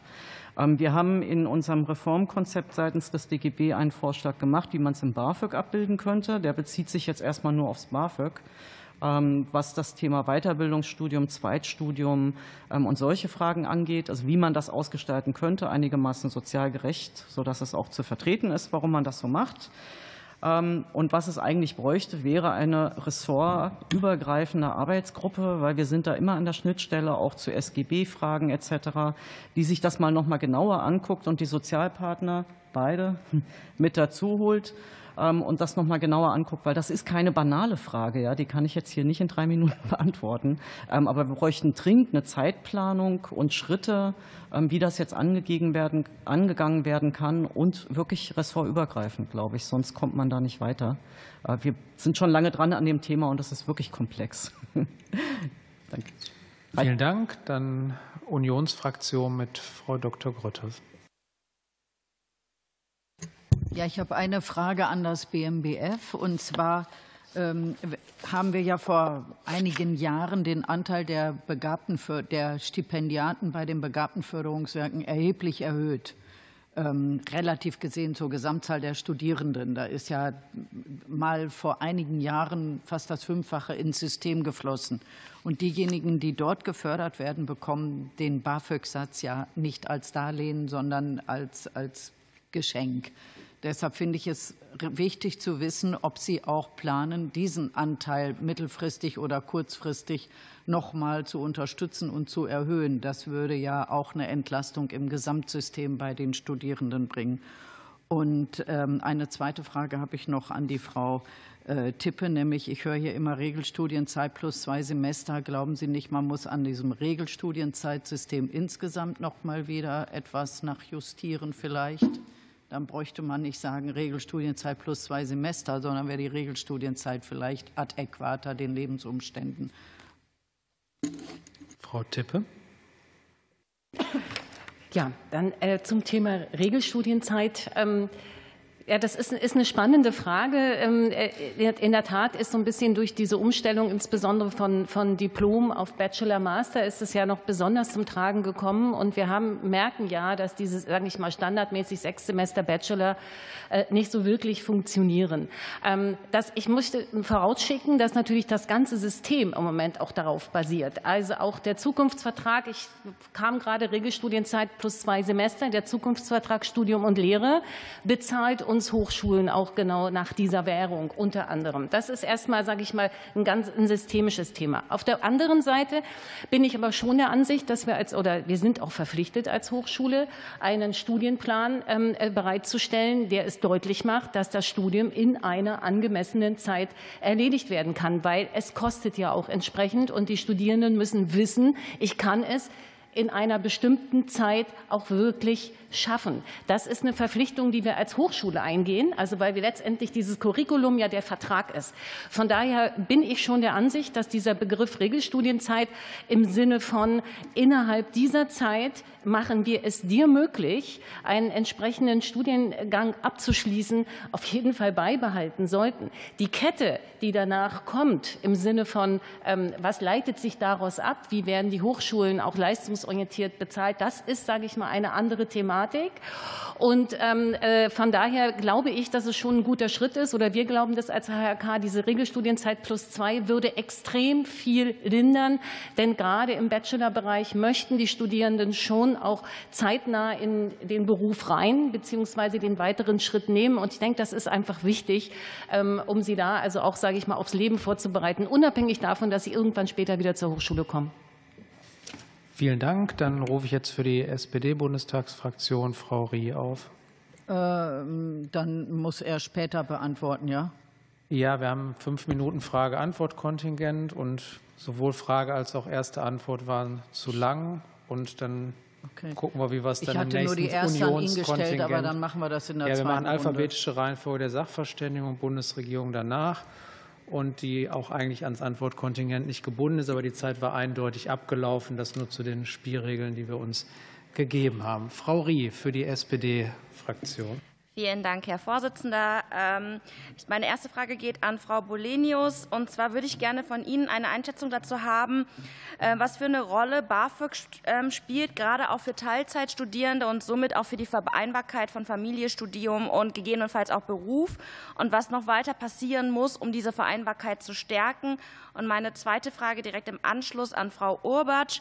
Ähm, in der jetzigen Form des BAföG gibt es natürlich noch eine weitere Hürde in Form von Eltern, die nicht bereit sind, sind, ähm, ihr Vermögen oder ihr Einkommen offenzulegen oder das Studium zu finanzieren.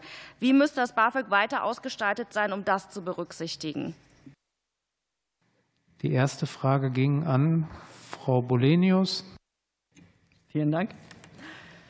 Ja, die Debatte um die Teilzeitförderung oder die Förderung von Teilzeitstudiengängen im BAföG ist ja im vollen Gange. Ähm, wir sehen das kritisch. Weil im Moment ist es so, dass äh, Menschen, die formal Teilzeit studieren, nicht dem Grunde nach förderungsberechtigt sind. Da sie nicht dem Grunde nach förderungsberechtigt sind, haben sie Anspruch auf Leistungen nach SGB II und XII und sind da finanziell besser abgesichert, als wenn wir jetzt anfangen würden, sie im BAföG ähm, zu fördern. Es sei denn, die Teilzeitförderung im BAföG würde umfassen, dass es auch eine existenzsichernde, bedarfsgerechte Förderung ist, die nicht unter dem Satz für ein Vollzeitstudium liegt. Dann könnte man das Thema angehen. Sonst würde ich sagen, Teilzeitstudium Vorsicht, weil die Kernzielgruppe von Teilzeitstudium sind Menschen, die eben aufgrund von körperlichen, geistigen oder wegen Betreuungs- oder Pflegeaufgaben oder warum auch immer nicht in der Lage sind, ein Vollzeitstudium zu absolvieren. Und deshalb, das ist die Kernzielgruppe, die wir im Auge haben. Alles andere sind eher berufsbegleitende Formate. Das ist nochmal was anderes. Das muss man abgrenzen voneinander. Also so viel zu Teilzeit. Ähm, auf jeden Fall Vorsicht. Und ansonsten ähm, ist natürlich sehr wichtig für Menschen mit Betreuungs- und Pflegeaufgaben, also das ist unabhängig, ob sie Kinder betreuen oder Angehörige pflegen, dass am Thema Zuschlag bei der Förderungshöchstdauer nochmal nachjustiert wird und auch bei Pflege nicht erst ab Pflegegrad 3. Ähm, gucken Sie sich das nochmal an, was da nachgewiesen sein muss. Ähm, und natürlich die Frage der Kinderbetreuungszuschläge ist auch ein wichtiger Punkt für die Frage Vereinbarkeit. Danke. Danke an DGB, an Frau Urbert, Arbeiterkind. Ja, aktuell setzt das BAföG darauf, ähm, dass man eine gute Beziehung zu seinen Eltern hat und überhaupt Kontakt zu seinen Eltern hat. Das ist aber häufig auch bei unserer Zielgruppe nicht der Fall. Häufig besteht kein Kontakt, häufig ist es auch besser so, häufig bestehen da auch Ängste.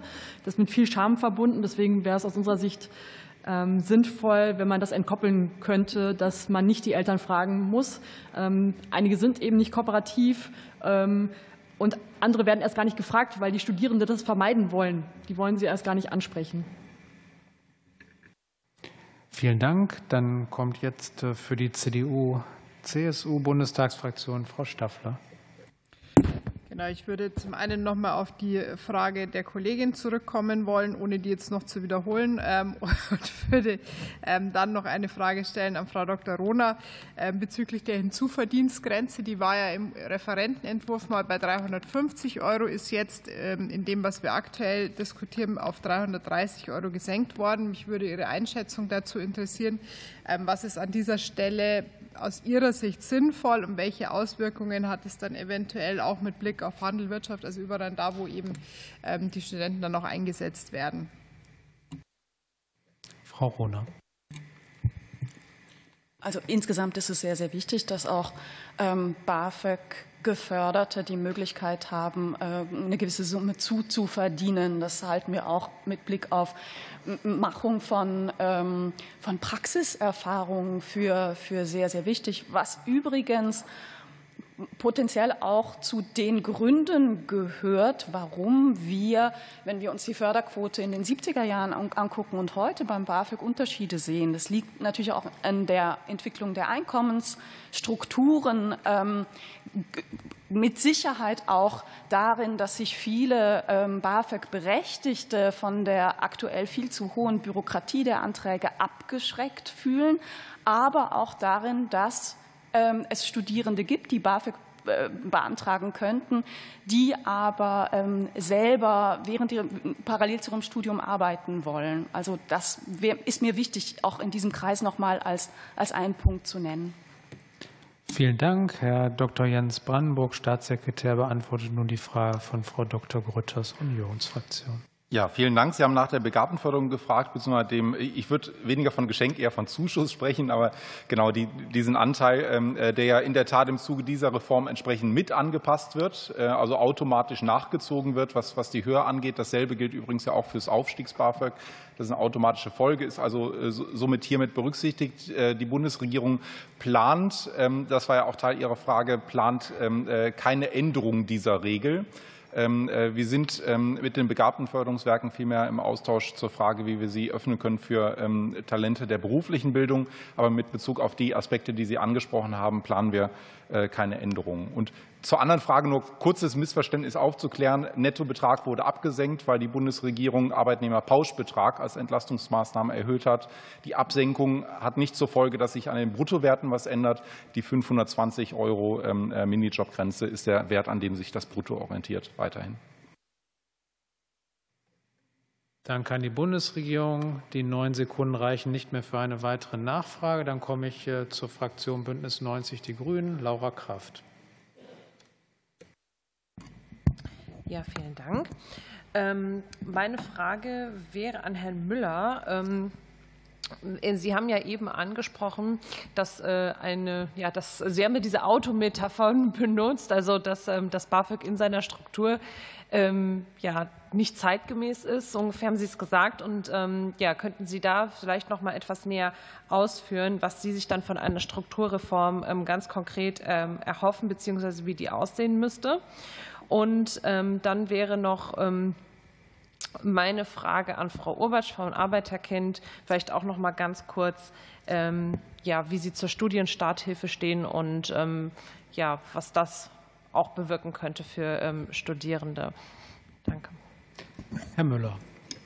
Genau, der erste Schritt, die Basis wird jetzt gelegt mit der Erhöhung der, der technischen Daten, sage ich mal. Das ist erstmal gut.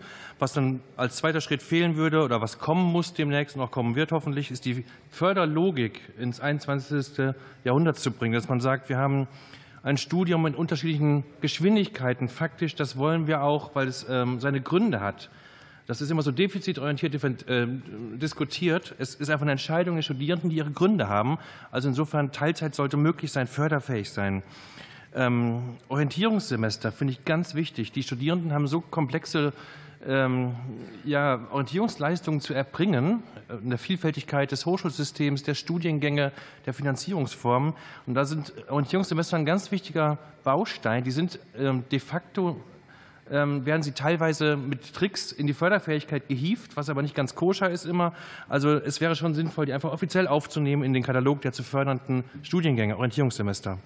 Dann geht es um Zertifikatsstudiengänge, also CASTAS, also Certificate of Advanced Studies and, und das äh, Diplom of Advanced Studies. Die sind auch derzeit nicht förderfähig, aber für viele extrem sinnvoll. Sind kurze Abschnitte, ist auch nicht so teuer. Äh, weiterbildender Master.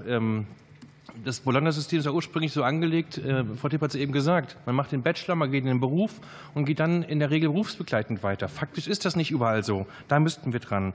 Förderungsrückstauer haben Sie schon ähm, gehabt. Dann ein Punkt, der bisher noch völlig untergegangen ist, den wir auch im Blick halten müssen, ist die Parallelexistenz der staatlichen Förderangebote, die völlig nebeneinander agieren. Das ist neben dem BAföG der KfW-Studienkredit, das ist der Bildungskredit beim Bundesverwaltungsamt, das ist die Überbrückungshilfe, die es jetzt nicht mehr gibt, es ist das fehlende Darlehen für Studiengebühren an privaten Hochschulen. Da gibt es ähm, leider bisher von der Ampel, glaube ich, auch noch kein Signal, dass man daran geht. Auch das schafft Unsicherheit. Ähm, Sie hatten eben die Kampagne diskutiert und ich hätte fast die Auffassung, was bringt jetzt eigentlich groß eine Kampagne? Man muss erstmal etwas so gestalten, dass man es einfach erklären kann. Und für mich ist diese Vielfalt an vielen Instrumenten extrem schwierig zu erklären. Ähm, es fällt mir schon schwer, da durchzublicken. Wie soll das ein 17-, 18-Jähriger tun, eine 17-, 18-Jährige?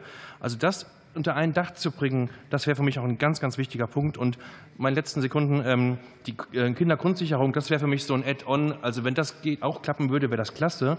Aber die ersten beiden Schritte sind für mich elementar. Okay, dann Frau Schröder für die FDP-Fraktion. Vielen Dank. Ich habe äh, noch zwei Fragen. Die erste richtet sich an Herrn Müller mit Bitte um kurze Antwort. Ähm, in Ihrer Stellungnahme adressieren Sie auch das Thema Internationalisierung des BAföG. Und da würde ich, mich, äh, würde ich äh, Sie gerne fragen, wo Sie da weiteres Potenzial sehen. Die Frage geht an Herrn Müller. Sie so, jetzt hatte ich mich gerade bei Frau Urbach entschuldigt, dass ich ihr die Redezeit geklaut habe. Jetzt habe ich die Frage nicht mitbekommen. Tut mir leid. Ach, jetzt ist meine Redezeit auch gleich vorbei. Es geht um die Internationalisierung des BAföG. Wo sehen Sie da weiteres Potenzial mit der Bitte um kurze Antwort dann? Ja, ähm, auch da ist ja, wie soll ich sagen, so halbherzige Aktionen werden da gestartet mit dem Auslands-BAföG inklusive Studiengebühren, witzigerweise, die auch erheblich sein können. Ansonsten ist das kaum vorgesehen. Und auch da wäre meine ganz kurze Antwort, ja, äh, breit öffnen, aber nicht zwingend alles in Geschenk oder wie Sie sagen, als Zuschuss, als Förderung. Da kann man ja auch für Studiengebühren im Ausland gerne über ein zinsgünstiges, zinsfreies Darlehen nachdenken. Aber Hauptsache Wege öffnen, Türe öffnen. Vielen Dank. Meine zweite Frage richtet sich an Herrn Anbuhl. Wir hatten das Thema ähm, Zuschläge für großstädtisches Wohnen sozusagen. Ähm, da frage ich mich immer, äh, verschlimmert das nicht auch die Situation am Wohnungsmarkt in den Großstädten? Ähm, wie äh, sehen Sie diese Gefahr und wie würden Sie damit umgehen? Herr Anbuhl, DSC. Ja. Ja, genau. Vielen Dank. Ähm, ja, also die Gefahr besteht natürlich schon. Wir hatten das bei der letzten Anhebung der Wohnkostenpauschale ohnehin gehabt, dass nachdem in dem Moment, wo das erfolgt ist, bei Haus und Grund ein Artikel drin war, wo man gesagt hat, liebe Vermieterin, schaut mal hin, äh, ihr könnt die Miete anheben, weil die Wohnkostenpauschale steigert sich. Also die Frage ist, ob das dann durchlaufender Posten ist. Für uns ist der erste Punkt, den ich sagen würde, man muss bauen im billigen Bereich. Dafür ist es gut, dass die Bundesregierung ein Bund-Länder-Programm starten will ähm, zum Neubau von, auch von studentischem Wohnen. Ähm, der zweite Punkt ist, ich muss trotzdem konstatieren, irgendwie, dass die Wohnkostenpauschale noch unterhalb der Düsseldorfer Tabelle ist eigentlich. Also wir müssen sie schon anheben. Und ich kann mir vorstellen, dass man sagt, wir versuchen in einzelnen Punkten so eine wirkliche Metropolenpauschale zu machen. Ich würde es nicht nach Wohngeldtabelle machen, weil wenn wir Leistung regionalisieren, dann wird das extrem komplex, auch das Antragsverfahren wieder. Aber dass man sagt, ähm, wir machen einen Metropolenzuschlag, könnte ich mir vorstellen, wenn es mit Bauen gekoppelt ist. Noch Nachfragen? Und dann nutze ich gerne meine letzte Minute dafür, äh, das Thema Studienstarthilfe noch mal zu adressieren. Das ist auch ein Herzensthema äh, unserer Fraktion. Deswegen, Frau Urbert, vielleicht können Sie Vielen jetzt Ihre Antwort nachholen. sehr zu schätzen. Ja, wir, für uns ist die Studienstarthilfe ganz wichtig. Wir haben ja auch schon jahrelang darüber gesprochen, wie schwierig diese Vorfinanzierung des Studiums ist. Also ich glaube, dass das einen Riesenunterschied machen wird, insbesondere auch für diejenigen, die aus Familien kommen, die schon Sozialhilfe äh, bekommen, weil die haben einfach keine Rücklagen. Also das begrüßen wir sehr.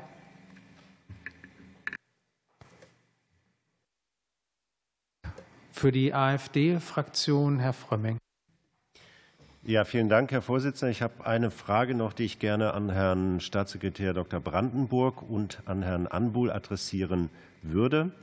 Und zwar, ähm, Herr Dr. Brandenburg, mit welcher Steigerung an BAföG-Anträgen rechnen Sie denn? Also haben Sie da überschlägig sich überlegt, äh, wie viele zusätzliche Anträge möglicherweise durch die Reform zu erwarten sind? Äh, denn wir haben ja gesehen, dass schon jetzt in einzelnen Bundesländern, wir hatten das Beispiel Nordrhein-Westfalen, äh, bei äh, einem gesteigerten Aufkommen an Anträgen es zu Engpässen äh, gekommen ist bei der Bearbeitung. Und dann nützt ja auch die Digitalisierung nichts mehr, wenn auf der anderen Ende, am anderen Ende der Leitung das Personal fehlt, um diese Anträge zu bearbeiten. Und die Frage jetzt an Herrn Anbuhl, was kann man tun, um hier vielleicht ja, dafür zu sorgen, dass die Anträge schneller bearbeitet werden und damit nicht diese Personalknappheit hier entsteht? Beantwortung erfolgt von, erfolgt von Herrn Brandenburg. Und Herrn Anbuhl, dann fangen wir mit Herrn Anbuhl an. Danke. Also im Prinzip sehen wir schon durch den Gesetzentwurf einfach einen erhöhten Erfüllungsaufwand in den BAföG-Ämtern, sodass wir sehen, dass dort ähm, steigende Anforderungen auf sie zukommen. Das kann man kurzfristig nur mit mehr Personal, mehr Ressourcen lösen. Die brauchen wir einfach dann. Die brauchen natürlich auch eine Einbearbeitungszeit dabei. Aber das ist jetzt das, was man sehr schnell braucht. Ähm, das Zweite ist dann die Frage, gibt es sonstige Verwaltungsvereinbarungen? Wir sehen es ja bei dem, bei dem Restschuldenerlass oder so, dass es manchmal auch gilt, auf bestimmte formale ähm, ich sage mal, Anforderungen zu verzichten, die dann auch nicht mehr nachgeprüft, nicht mehr nachgeholt werden müssen. Also ich glaube, in dem Bereich liegt noch sehr viel Möglichkeit drin. Aber nichtsdestotrotz, es führt keinen Weg darüber, daran vorbei, dass wir mehr Menschen in den BAföG-Ämtern brauchen.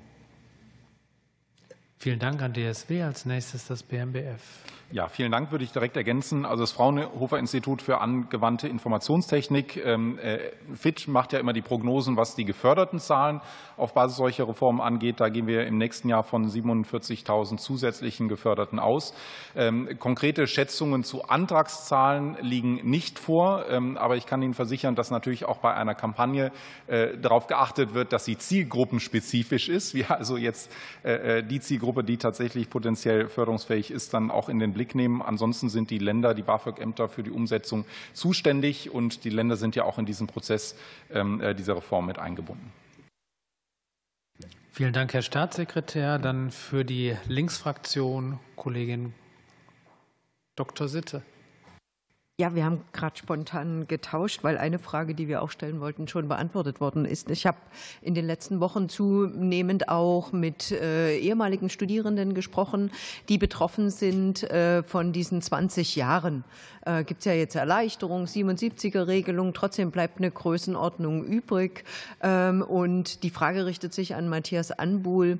Ähm, Gibt es einen Überblick, wie groß die Gruppe sein könnte, die jetzt immer noch diese Kettenkugel 20 Jahre am Bein hat und ob es nicht sinnvoll wäre, ich vermute mal, dass sie relativ klein ist, jetzt Regelungen zu treffen, um die, naja, mal vorsichtig gesagt, zu amnestieren und zu sagen, ähm, Schluss aus, da wird der Staat eh nicht reich. Äh, wir machen da jetzt einen Schlussstrich und setzen neu an, sodass es für die dann keine weiteren Zahlungsverpflichtungen mehr gibt. Vielen Dank, Herr Anbuhl. Ja, vielen Dank. Eine genaue Zahl kann ich dazu nicht liefern an dem Bereich, aber ich kann sagen, dass die Gruppe relativ klein sein wird, weil ja auch der Darlehensanteil ähm, mittlerweile ja auch gedeckelt ist dabei ähm, bei 10.000 Euro. Insofern ist das, ähm, wird das jetzt kein allzu großer Beitrag sein. Ich würde anders rangehen. Ich würde generell einfach sagen, Darlehensanteil, Zuschussanteil gucken wir uns mal an. Und ähm, das ist ja auch vorgesehen, glaube ich, zumindest zu prüfen für eine der nächsten Novellen, weil damit schlägt man eine Fliege, äh, mehrere Fliegen mit einer Klappe. Äh, man versucht, hält die Gruppe klein jetzt an Restschuldnern und andererseits nimmt man auch Verschuldungsängste einfach für kommende Studierendengenerationen. Insofern wäre das eigentlich aus meiner Sicht mit der Herangehensweg. Vielen Dank. Weitere Nachfragen? Hat die Linksfraktion noch Nachfragen? Sonst gehe ich weiter.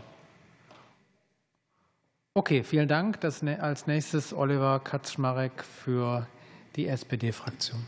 Vielen Dank, Herr Vorsitzender. Ich möchte gerne einen Satz von Frau Grother zur Grundlage nehmen, was, wie ich diese Anhörung auch überschreibe. Sie haben gesagt, diese Reform ist nur ein Anfang. Ich würde sagen, diese Reform ist ein Anfang, ein guter. Und äh, dass Sie das ähm, auch ernst nehmen können, sehen Sie daran, dass heute im Kabinett der nächste Reformschritt, der Nothilfemechanismus, ja beraten wird und wir das vor der Sommerpause hier auch noch im Parlament beraten werden.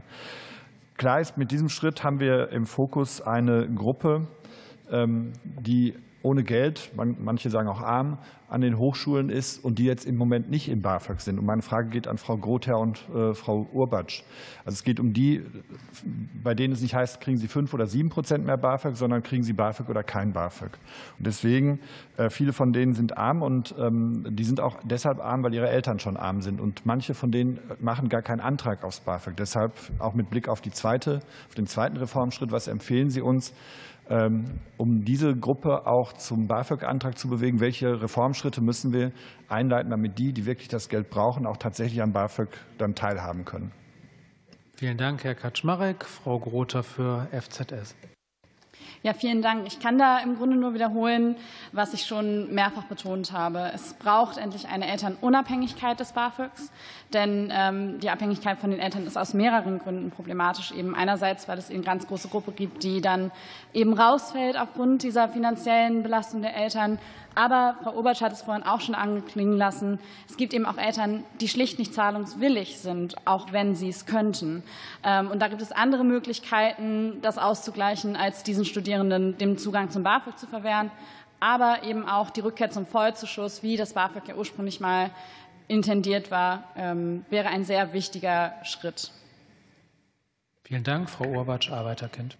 Ja, Frau Rohner hat ja eben schon den Bürokratieaufwand angesprochen. Ich würde da wirklich noch mal bitten, sich das anzugucken, weil das ist ein enormer Bürokratieaufwand, den 17-, 18-Jährige haben. Die sind damit überfordert. Also man hat Glück, wenn man jemanden Kaufmännisches in der Familie hat, der da unterstützen kann. Aber das ist ein überfordernder Antrag, der ist zu kompliziert.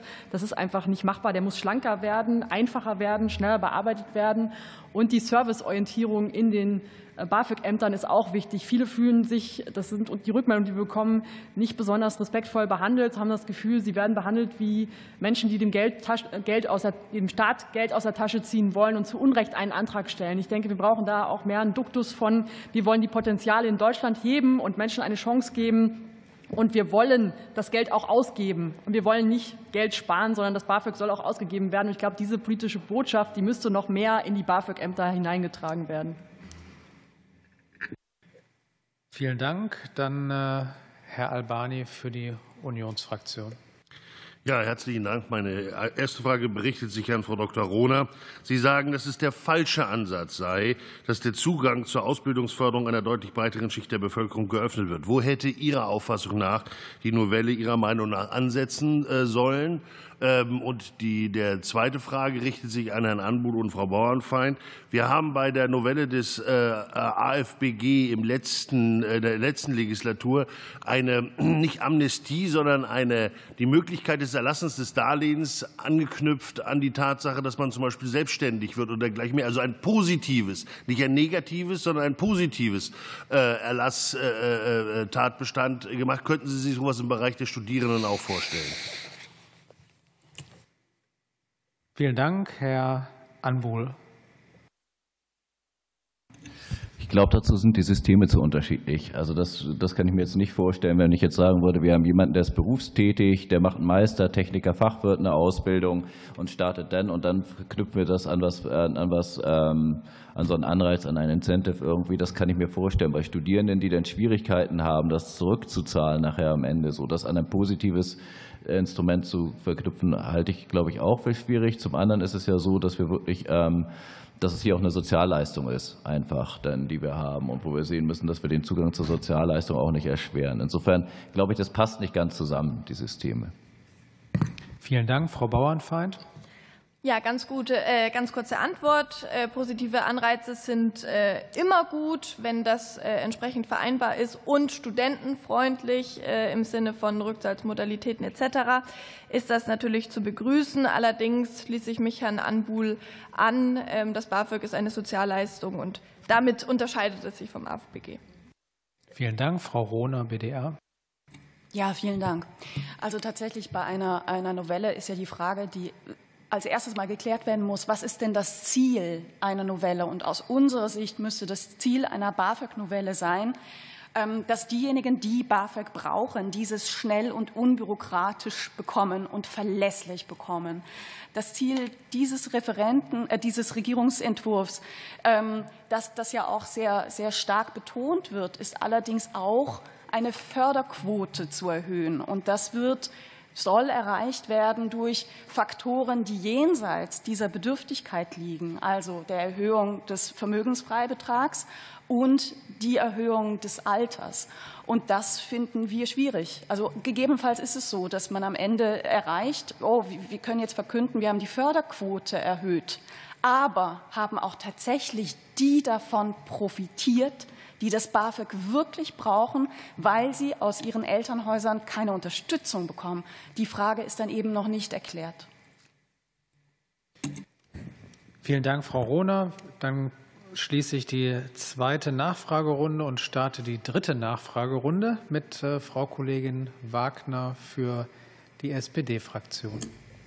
Vielen Dank, Herr Vorsitzender. Meine Fragen gehen an Frau Professor Tippe. Wir haben jetzt ein bisschen was gehört ähm, hinsichtlich der ähm, Aufklärung zum BAföG, ähm, Ängste, die damit ähm, auch verbunden sind.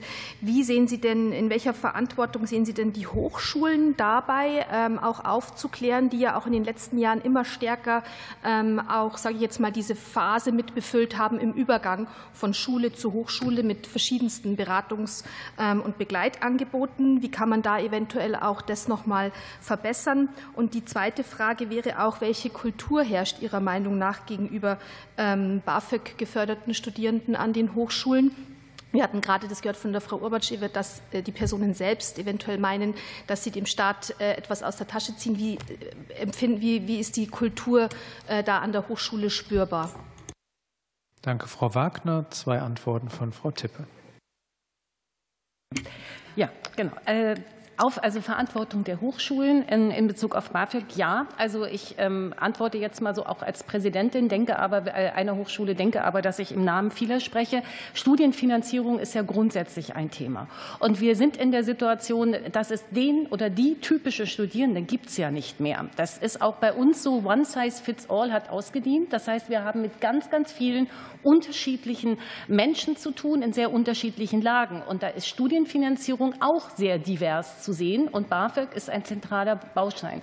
Und wir versuchen in allen unseren ähm, äh, ja, Werbekampagnen, wir gehen an Schulen, also ich fange jetzt mal bei den Jüngsten an, das ist ja nicht nur unsere Zielgruppe, aber ebenso sehr wesentlich, dass wir versuchen, sehr früh auch die Eltern mit ins Boot zu nehmen. Das ist zum Beispiel etwas, was wir in den letzten Jahren erst erkannt haben und vielleicht auch Gegenstand der Kampagne, wie auch immer sein könnte, dass die Eltern verstehen müssen, sozusagen, was da passiert, äh, um dann ihre Kinder auch, sagen wir mal, in, in, da entsprechend entsprechend zu unterstützen. Also wir haben jedes Mal ähm, äh, die, die Stände sozusagen bei unseren Hochschulinformationstagen. Wir haben es auf der Website und wir es, äh, sprechen es gezielt an, je nach Bedarf. Ähm, zweite Kultur kann ich Ihnen sagen, ähm, die Studierenden nach meiner Wahrnehmung, und ich habe ja viele Jahre als Professorin auch gearbeitet, äh, wird nicht danach gefragt, kriegst du BAföG, kriegst du nicht BAföG oder wie auch immer. Das ist nicht das Thema. Ich glaube, was äh, Frau Urbatsch angesprochen hat, war vielleicht eher auf diese Antragstellung bezogen. Und da habe ich mir schon so ein bisschen auch notiert, ich glaube, da kann einfach so ein Kulturwandel, ähm, die, die Haltung kann irgendwo vielleicht auch möglicherweise geändert werden, um Barrieren einer solchen Antragstellung vorzubeugen. Aber das ist Spekulation. An der Hochschule, also für mich nicht. An der Hochschule selber spüren wir das nicht.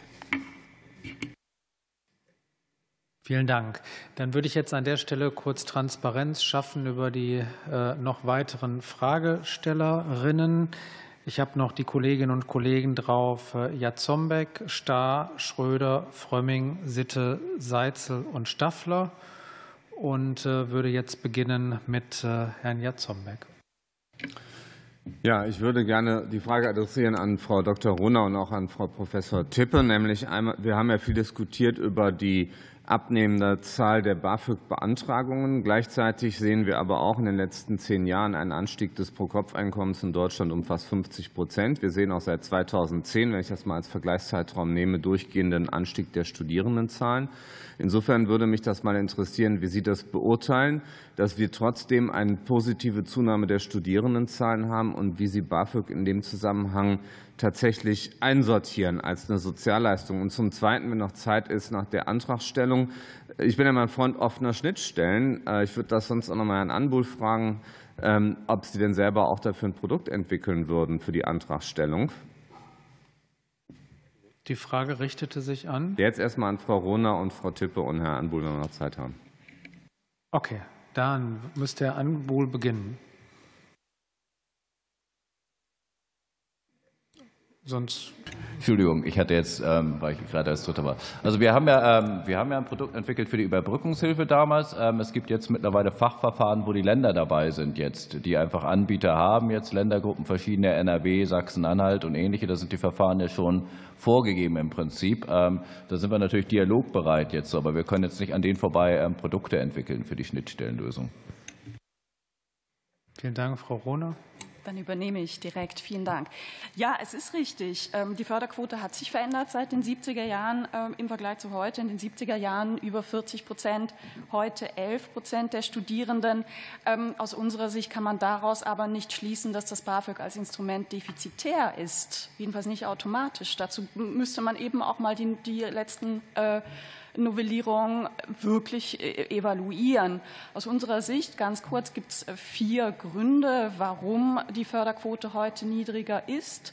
Ähm, zum einen, Sie haben es genannt, generelle Einkommensentwicklung der Familien. Zweiter Punkt, heute haben Familien auch weniger Kinder als in den 70er Jahren. Da gab es viel mehr, Kinder, äh, viel mehr Familien mit zwei oder drei Kindern, heute weniger. Ähm, dritter Punkt, abschreckende Bürokratie. Wir haben auch äh, als, als Mitglieder des BAföG-Beirates der Bundesregierung, mehrere Personen gehören dazu, hier wirklich schon ganz erschreckende äh, Meldungen äh, bekommen und, und Berichte in Sitzung. Und der vierte Punkt, es gibt tatsächlich auch Studierende, die wollen eigenes Geld verdienen und Praxiserfahrungen sammeln. Und das unterstützen wir natürlich arbeitgeberseitig auch. Vielen Dank, Frau Professor Tippe, für die HRK. Ja, also vielleicht ähm, erst mal zu dem Thema Anstieg der Studierendenzahlen. Ähm, möchte ich mal noch zwei Aspekte mit reinbringen. Einmal haben wir natürlich durchaus zu beobachten, dass die Akademisierung von bestimmten Berufen vorangeschritten hat und wir, äh, ist und wir Studiengänge natürlich bekommen haben, die es vorher nicht gab und die natürlich auch attraktiv sind. Dann möchte ich ein Thema noch erwähnen, weil es auch mit Finanzierung zusammenhängt, die zunehmende Attraktivität von dualen Studienangeboten. Ähm, das hat deutlich zugenommen. Ich habe gerade letzte Woche noch mit Amtskollegen von dualen Hochschulen aus anderen Bundesländern gesprochen, die entgegen, sage ich mal, unserer Erfahrung Land auf Land ab ähm, weniger, um nicht zu sagen keine Rückgänge der Studierendenzahlen während der oder aufgrund der Corona-Pandemie hatten, was bei anderen Hochschulen durchaus der Fall ist. Und ein wesentliches Motiv ist natürlich die Sicherheit. Ja? So, okay, dann schließe ich ab. Ja. Vielen Dank für die grüne Fraktion. Frau Starr. Ja, vielen Dank, Herr Vorsitzender. Vielen Dank auch für Ihre Stellungnahmen. Ich habe ähm, eine Frage an äh, Frau Urbatsch und Frau Tippe. Ähm, Bürokratie und äh, komplizierte Antragsverfahren, das wurde jetzt häufiger gesagt, wie abschreckend und problematisch das ist. Das, äh, das gehen wir ja jetzt an, auch durch die Digitalisierung und durch ähm, ja, ich glaube, da, da werden wir eine, eine, Verbesserung erreichen. Aber Sie haben ja darüber hinaus auch gesagt, wie wichtig es ist, diese Informationen überhaupt zugänglich zu machen. Und Frau Orbatsch, Sie haben auch gesagt, wie wichtig es ist, zuverlässig vorher zu wissen, mit wie viel Geld ich rechnen kann. Und ähm, da schließt meine Frage an. Zum einen, wie können wir die Information wirklich noch mal besser zugänglich machen? Ist Kampagne ausreichend oder müssen wir eigentlich in die Schulen rein, in die Berufsorientierung? Wo können wir da ansetzen, um es wirklich allen jungen Menschen äh, die Information zugänglich zu machen?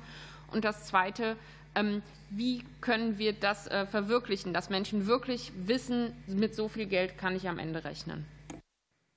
Frau Tippe und Frau Starr, äh, das wird jetzt knapp, aber wir versuchen es. Frau Tippe.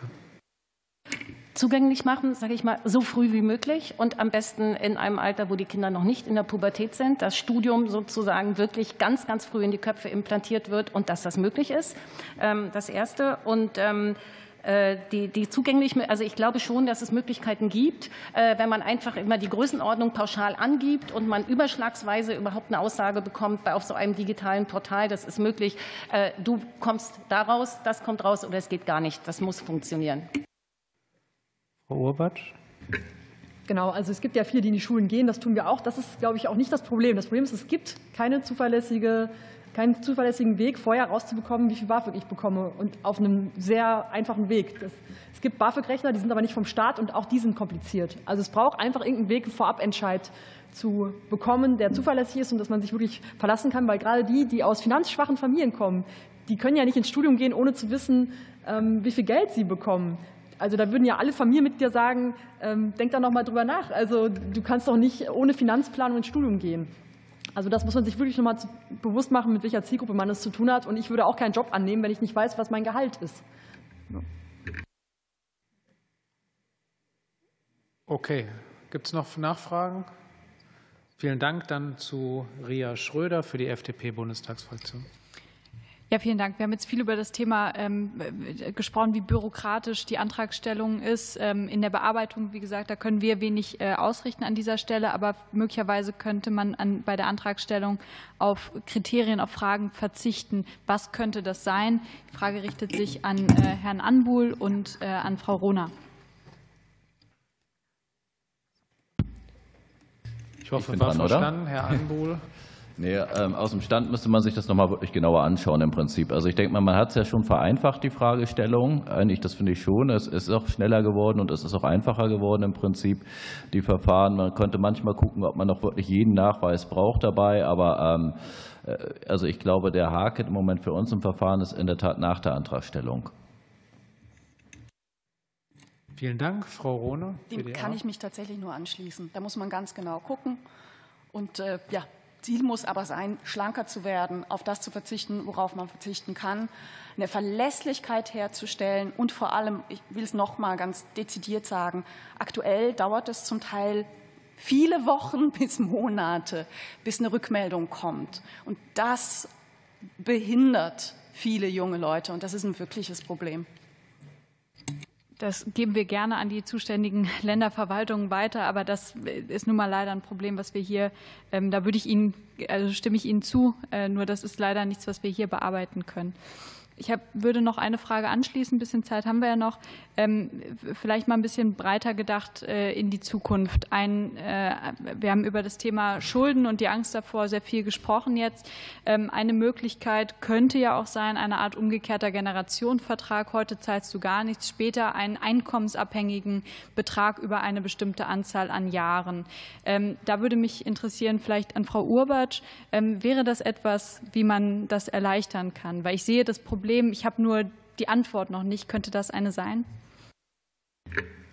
Ja, das ist ja ein Konzept, was auch Bildungsfonds betreiben. Das ist für uns dann immer die Alternative, wenn man nicht mehr BAföG berechtigt ist. Aber wir merken schon, dass das auch bei der Zielgruppe sehr schwierig ist. Also alles, was mit Schulden zu tun hat, oder ich muss später noch mal in einer Zeit, wo ich nicht weiß, wie ich finanziell dastehe, ähm, etwas zahlen, ist schwierig. Und worauf ich auch noch mal aufmerksam machen möchte bei dieser Zielgruppe ist, was der Unterschied ist von Menschen aus finanzschwachen Familien, ist, dass sie ein Umfeld haben, wo niemand Geld hat.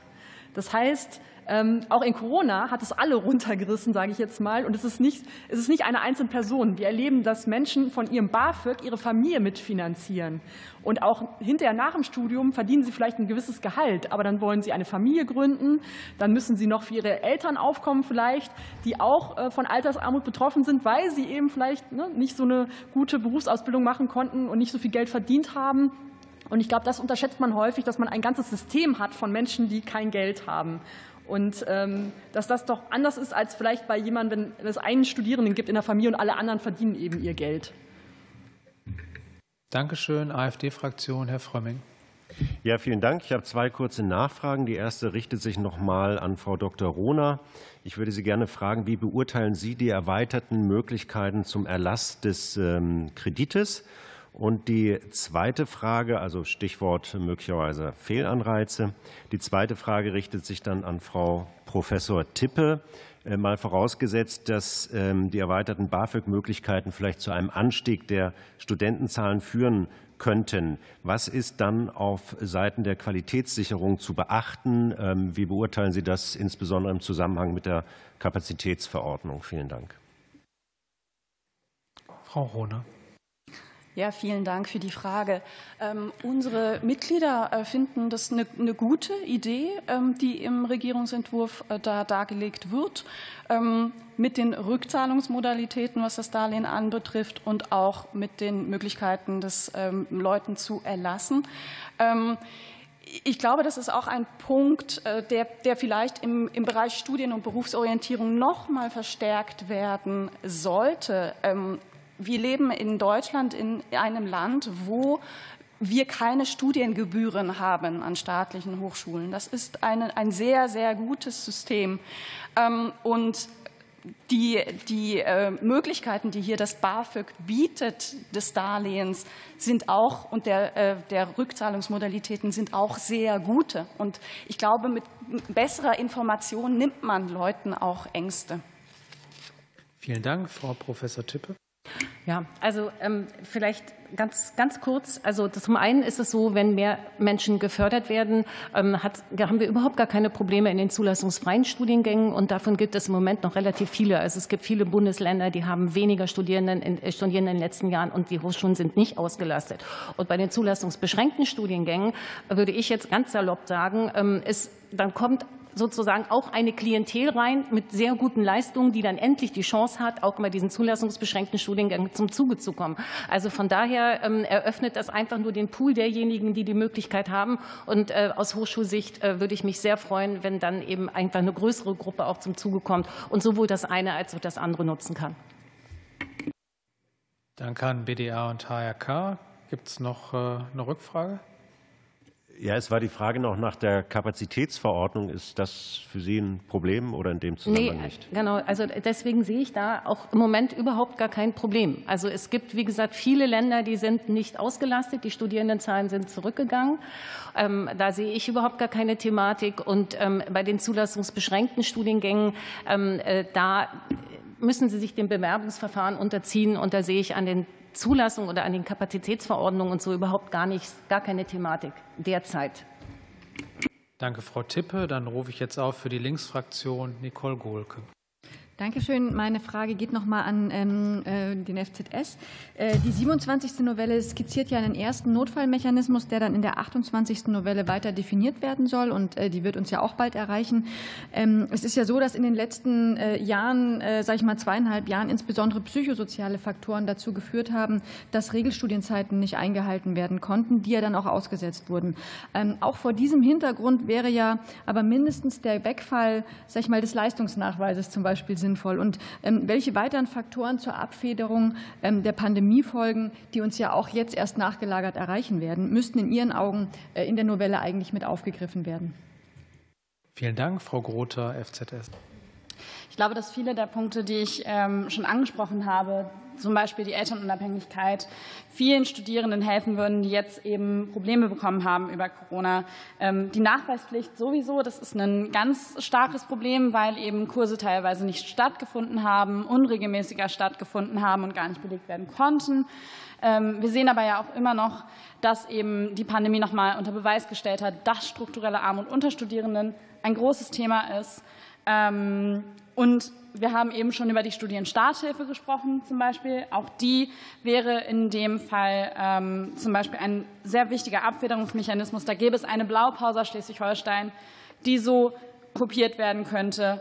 Ähm, genau. Und an der Stelle vielleicht auch noch mal zu betonen, einfach Geld ist an der Stelle nicht der entscheidende Faktor. Es sind Milliardenbeträge, die seit Jahren zurücklaufen in den Bundeshaushalt, weil eben diese Mittel nicht abgerufen werden und ähm, genau diese Mittel hätten schon in der Pandemie in die Hand genommen werden müssen, um eben einen Notfallmechanismus zu gestalten, der eben auch wirklich hilft, anders als das, als die Nothilfe, die dann ähm, vom Karliczek-Ministerium aufgesetzt wurde. Ähm, genau, da würden wir uns einfach eine Verbesserung wünschen. Vielen Dank. Nachfragen, Frau Gohlke? Darf ich noch eine an Herrn Anbuhl stellen? Ähm, ganz kurz nur noch mal auch äh, äh, Erfassung und Bearbeitung von Anträgen in der angemessenen Wartezeit, ähm, was da jetzt sozusagen noch mal Hebel sein können, äh, die, die helfen können und inwieweit könnte ein Vollzuschuss sozusagen anstatt eines Darlehens eine Bearbeitungslast ähm, in den, in den Ämtern absenken oder hätte das keinen Einfluss aus Ihrer Sicht? Herr Anbuhl. Impuls, ich glaube, das äh, beantworte ich nochmal, ist einfach, wir brauchen die Leute, die die Anträge bearbeiten können. Ähm, bei Zuschussdarlehen sehe ich einfach erstmal die Verschuldungsangst als Hauptthema. Das haben wir auch in Sozialerhebungen jetzt in früheren schon gehabt, dass das vielfach gesagt wurde, wenn du ein BAföG nehmen könntest oder ein Studium anfangen könntest, äh, warum machst du es eigentlich nicht? Und dann ist die Verschuldungsangst immer ein Thema. Es ist ein Thema von Familien mit Knappheitserfahrung und ähm, Darlehensanteil rückzuführen lohnt sich deswegen. Ich glaube, es wird jetzt bei der Bearbeitungszeit gar nicht so viel bringen am Ende, aber es gibt andere gute Gründe, das zu machen.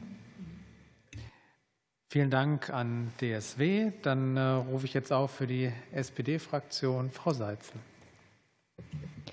Ja, vielen Dank. Ich möchte auch noch mal anknüpfen an äh, die Frage, ähm, wie bekommen wir eigentlich mehr Menschen aus ähm, einkommensschwächeren Hintergründen ins BAföG rein? Und Frau Obert, Sie haben da verschiedene Beispiele genannt. Ähm, das eine war so ein BAföG-Rechner, der eben nicht von privaten Anbietern angeboten wird, sondern äh, von öffentlichen. Da wäre meine Frage ähm, mal ganz blöd gefragt an, an Herrn Anbuhl, dass die Studierendenwerke, also die BAföG-Ämter sind ja häufig bei den Studierendenwerken angesiedelt. Wie kann man sich das denn vorstellen? Können Sie sich das denn vorstellen, in irgendeiner Art und Weise umsetzbar zu machen? Und die zweite Frage, ähm, war, ging auch noch mal in Richtung Senkung Darlehensanteil. Ähm, über die Verschuldungsängste sind hier schon, ist hier schon viel gesprochen worden. Ähm, und die sind ja auch einfach in verschiedenen Erhebungen mittlerweile gezeigt worden. Es gibt auch sowas wie akademisches Prekariat. Also auch dann, wenn man studiert hat, hat man nicht unbedingt ein hohes Einkommen. Das kommt ja noch dazu. Wie kann denn diese Senkung des Darlehensanteils aussehen? Welchen Weg könnte man da gehen? Die Frage ging ja an Frau Urbatsch. Okay, dann starten wir mit Herrn Anbuhl. Ja, also zunächst mal muss man sagen, jetzt auch jenseits des BAföG-Rechners sind wir in der BAföG-Beratung einfach unterwegs und in der Finanzberatung und Sozialberatung und informieren viele Leute. Und wir haben auch manchmal das Erlebnis, dass Leute vielleicht mit einem KfW-Studienantrag zur Finanzberatung bei uns kommen und dann mit dem unterzeichneten BAföG-Antrag wieder rausgehen. Also das sind ja auch Phänomene, die wir haben, weil die dann sehen, Mensch, der Darlehensanteil ist gedeckelt. Ich komme da eigentlich gut mit zurecht in dem Bereich. Das ist erstmal ein wichtiger Punkt. Das zweite ist BAföG-Rechner gibt es diverse. Also da kann ich mir schon vorstellen, dass man da auch noch mal guckt, was könnte man da besser machen in dem Bereich, ob man da ein Tool für findet. Denn letzten Endes ähm, gibt es auch in einzelnen, an einzelnen Standorten schon. Das könnte man gucken, ob man das ausbaut. Aber wie gesagt, das, das Größte für uns ist, wir machen wirklich eine Finanzberatung aus einer Hand. Und das Beispiel, die Leute gehen rein und kommen raus mit einem anderen Produkt, ist ja auch ein Zeichen dafür, dass es geht, die Leute, wenn sie die fachkundige Wissen haben oder das Fachwissen haben, vernünftig zu beraten. Danke an DSW. Als nächstes Arbeiterkennt mit Frau Urbert. Ja, es braucht, glaube ich, beim BAföG halt sehr viel Beratung. Ne? Und die kann man nicht genug ausbauen. Menschen brauchen Unterstützung bei der Beantragung. Ich würde mir auch wünschen, dass die Hochschulen bei der Zulassung gleich die Finanzunterlagen mit verschicken. Das wäre vielleicht auch mal eine Idee. So ist das in den USA, dass das alles zusammen verschickt wird, weil das ist bei uns ja in Deutschland sehr getrennt. Das heißt, viele rufen bei uns an und fragen, ob sie bei uns BAföG beantragen können oder auch bei den Hochschulen. Ähm, und ja, Senkung des Darlehensanteils, ja, wie das jetzt in der Praxis äh, funktionieren kann, das weiß ich nicht. Aber ich bin der festen Überzeugung, dass je geringer der Darlehensanteil ist, je höher wird, werden die BAföG-Anträge ausfallen. Und insbesondere in der Zielgruppe der Finanzschwachen. Die Frage ist vielleicht auch nochmal, ob man das irgendwie staffeln kann. Äh, das könnte man mal prüfen. Vielen Dank für die Unionsfraktion. Frau Staffler. Ja, besten Dank. Ich würde gerne noch mal eine Frage anschließen an den Herrn Staatssekretär, äh, lieber Jens Brandenburg. Ähm, jetzt ist ja sehr häufig das Thema Antragsstellung vereinfachen angesprochen worden und unterschiedliche Ideen diskutiert worden. Wir unterstützen das im Grundsatz natürlich schon. Die Frage ist, wo setzen Sie da an? Haben Sie da eine Evaluation, die Ihnen sagt, an welchen Stellen und warum ähm, man das Antragsprozedere oder warum es überhaupt zum Imageverlust dadurch kommt, zu den rücklaufenden Zahlen? Ähm, oder wie kommt man dann zu den, den konkreten Vorschlägen? Weil irgendwo muss man muss ja sozusagen, ich meine, nur allein das Antragsprozedere an sich kann es ja nicht, ähm, also die Frage ist, wo setzt man an in diesem Prozedere? Gibt es da eine Evaluation? Also bisher ist da jetzt keine separate Evaluation beauftragt. Wir werden ja zu anderen Fragen, die eben besprochen ähm, äh, werden, nächstes Jahr die Zahlen der Sozialerhebung, also nochmal aktualisierte Zahlen haben. Die werden sicher in eine ähm, äh, kommende Reform dann mit einfließen.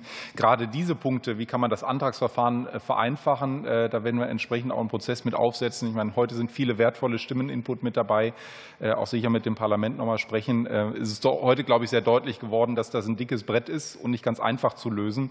Und insofern ist es gut, dass wir zwar jetzt schnell schnell zum Wintersemester die ersten Schritte machen, aber für die nächste strukturelle Reform etwas mehr Zeit haben. Dieser Prozess der wird recht breit ausgesetzt. Danke, Herr Staatssekretär. Gibt es noch Fragen der Unionsfraktion? Sehe ich nicht. Dann äh, würde ich jetzt in den gesamten Ausschuss fragen, gibt es noch Fragen, die Sie unbedingt loswerden möchten? Dann würde ich jetzt noch mal einmal sammeln. Bisher habe ich aber nur eine Wortmeldung und rufe deshalb direkt auf Frau Dr. Sitte für die Linksfraktion. Ja, danke schön. Der Blick auf, die, auf den Satz, den Bedarfssatz, der ähm, erhöht wird und äh, der Blick auf die Erhöhung der Wohnpauschale und die jüngsten Debatten um Energiepreisentwicklung und Ähnliches ähm, bringen mich darauf noch mal zu fragen, äh, insbesondere mit Blick auf Studierende und ihre Wohnsituation, ob nicht jetzt bei dieser Reform schon mit aufgenommen werden sollte, auf solche Faktoren mit Rücksicht zu nehmen, es entweder als eigenständigen Posten mit aufzunehmen oder eine Pauschale auch unter diesem Blickwinkel mit aufzunehmen. Kalt- und Warmmieten nur mal so als Stichwort an ähm, Herrn Anbuhl und an die Kollegin von FZS. Herr Anbuhl. Also und generell gehört das für mich einfach nochmal in die Frage, wie können wir empirisch transparent den Grundbedarfssatz und studentischen Warenkorb ermitteln, was uns ja auch Gerichte einfach beauftragt haben. Da gehört die Frage mit rein. Fakt ist jetzt aber das, was ich vorhin gesagt habe, wir liegen jetzt schon unterhalb des Inflationsanstiegs mit den Plänen für die Bedarfssätze. Und noch viel schlimmer ist, dass wir in vergangenen Jahren eigentlich schon vergessen haben, mitunter zwischen 2010 und 2016 gab es nicht eine einzige Anhebung der Bedarfssätze. Das fällt uns immer noch auf die Füße. Wir hängen immer noch hinterher. Es gab 2019 eine Erhebung des äh, FIPS ähm, von Herrn Dr. Dieter Dom federführend, der gesagt hatte, wir bräuchten damals schon eigentlich einen Grundbedarfssatz von 500 bis 550 Euro.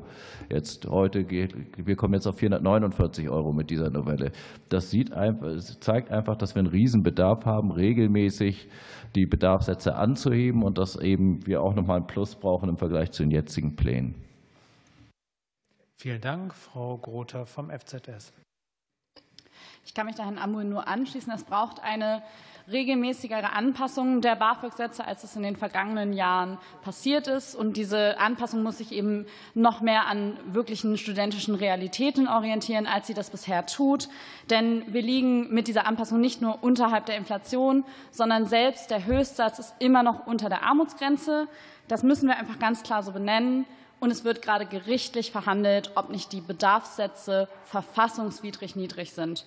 Und das ähm, sollte doch zum Anlass genommen werden, wirklich deutlich zu machen, dass es eine regelmäßigere Anpassung der Sätze braucht. Noch Nachfragen, Frau Sitte?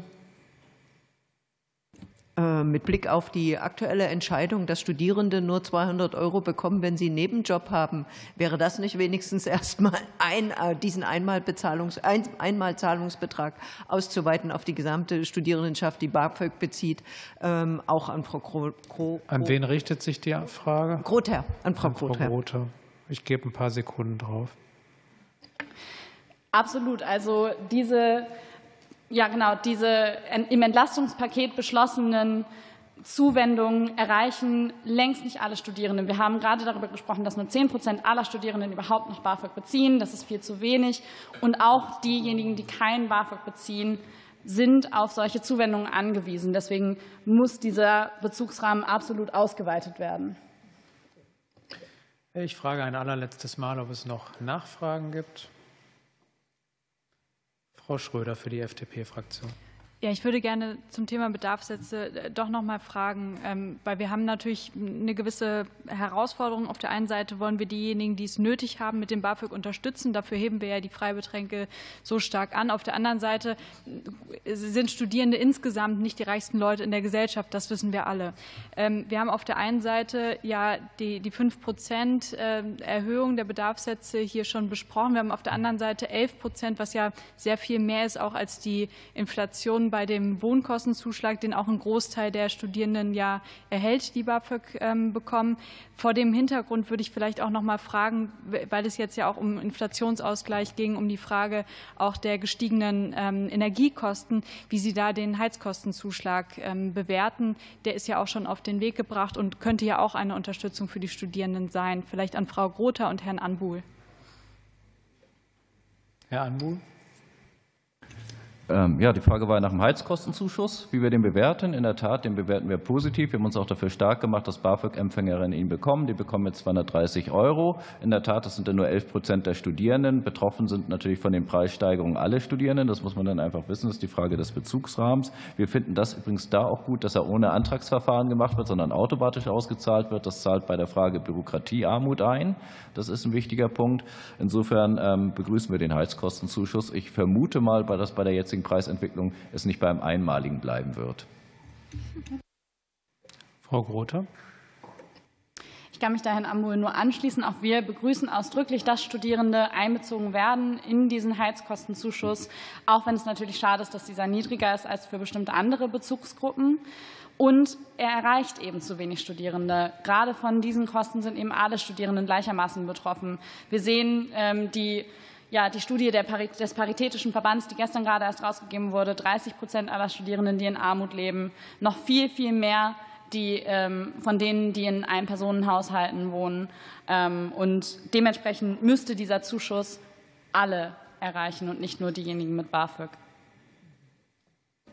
Vielen Dank. Damit hatte FZS das Schlusswort. Liebe Kolleginnen und Kollegen, mir liegen keine weiteren Wortmeldungen mehr vor. Wir können die Anhörung damit vor der ursprünglich anberaumten Zeit abschließen. Ich bedanke mich ganz, ganz herzlich bei Herrn Anbuhl, Frau Bauernfeind, Frau Bolenius, Frau Grother, Herr Müller, Frau Urona, Frau Tippe und Frau Urbatsch, an unsere Sachverständigen ganz, ganz herzlichen Dank. Und ich bedanke mich auch ausdrücklich bei den Kolleginnen und Kollegen, dass wir in diesem neuen Frage- und Antwort-Kontingentformat das erreicht haben, was wir uns äh, für diese Wahlperiode vorgenommen haben, nämlich äh, etwas dynamischere Anhörungen. Ich fand das heute, dass das Experiment gelungen ist, es jetzt künftig so zu machen und nicht irgendwie wie in der letzten Wahlperiode. Ich bedanke mich für viele wichtige inhaltliche Anregungen zur 27. BAföG-Änderungsnovelle. Wir wissen, dass dann die 28. auch dann heute im Kabinett verabschiedet wird. Das heißt, es wird äh, auch mit der Strukturreform, die noch geplant ist, weitere Möglichkeiten geben, in dieser Wahlperiode sich über das BAföG intensiv auszutauschen. Und ich gehe davon aus, dass äh, die Vermehrung der Erkenntnisse heute auch in die weitere Novellenarbeit einfließen wird. Ganz herzlichen Dank an alle Beteiligten. Damit schließe ich die Anhörung und damit auch äh, diese Sitzung und bitte jetzt die Sachverständigen ganz herzlich ähm, den Ausschusssaal zu verlassen und bitte die Kolleginnen und Kollegen hier noch ein paar Minuten für die nächste Anhörung zu bleiben. Danke.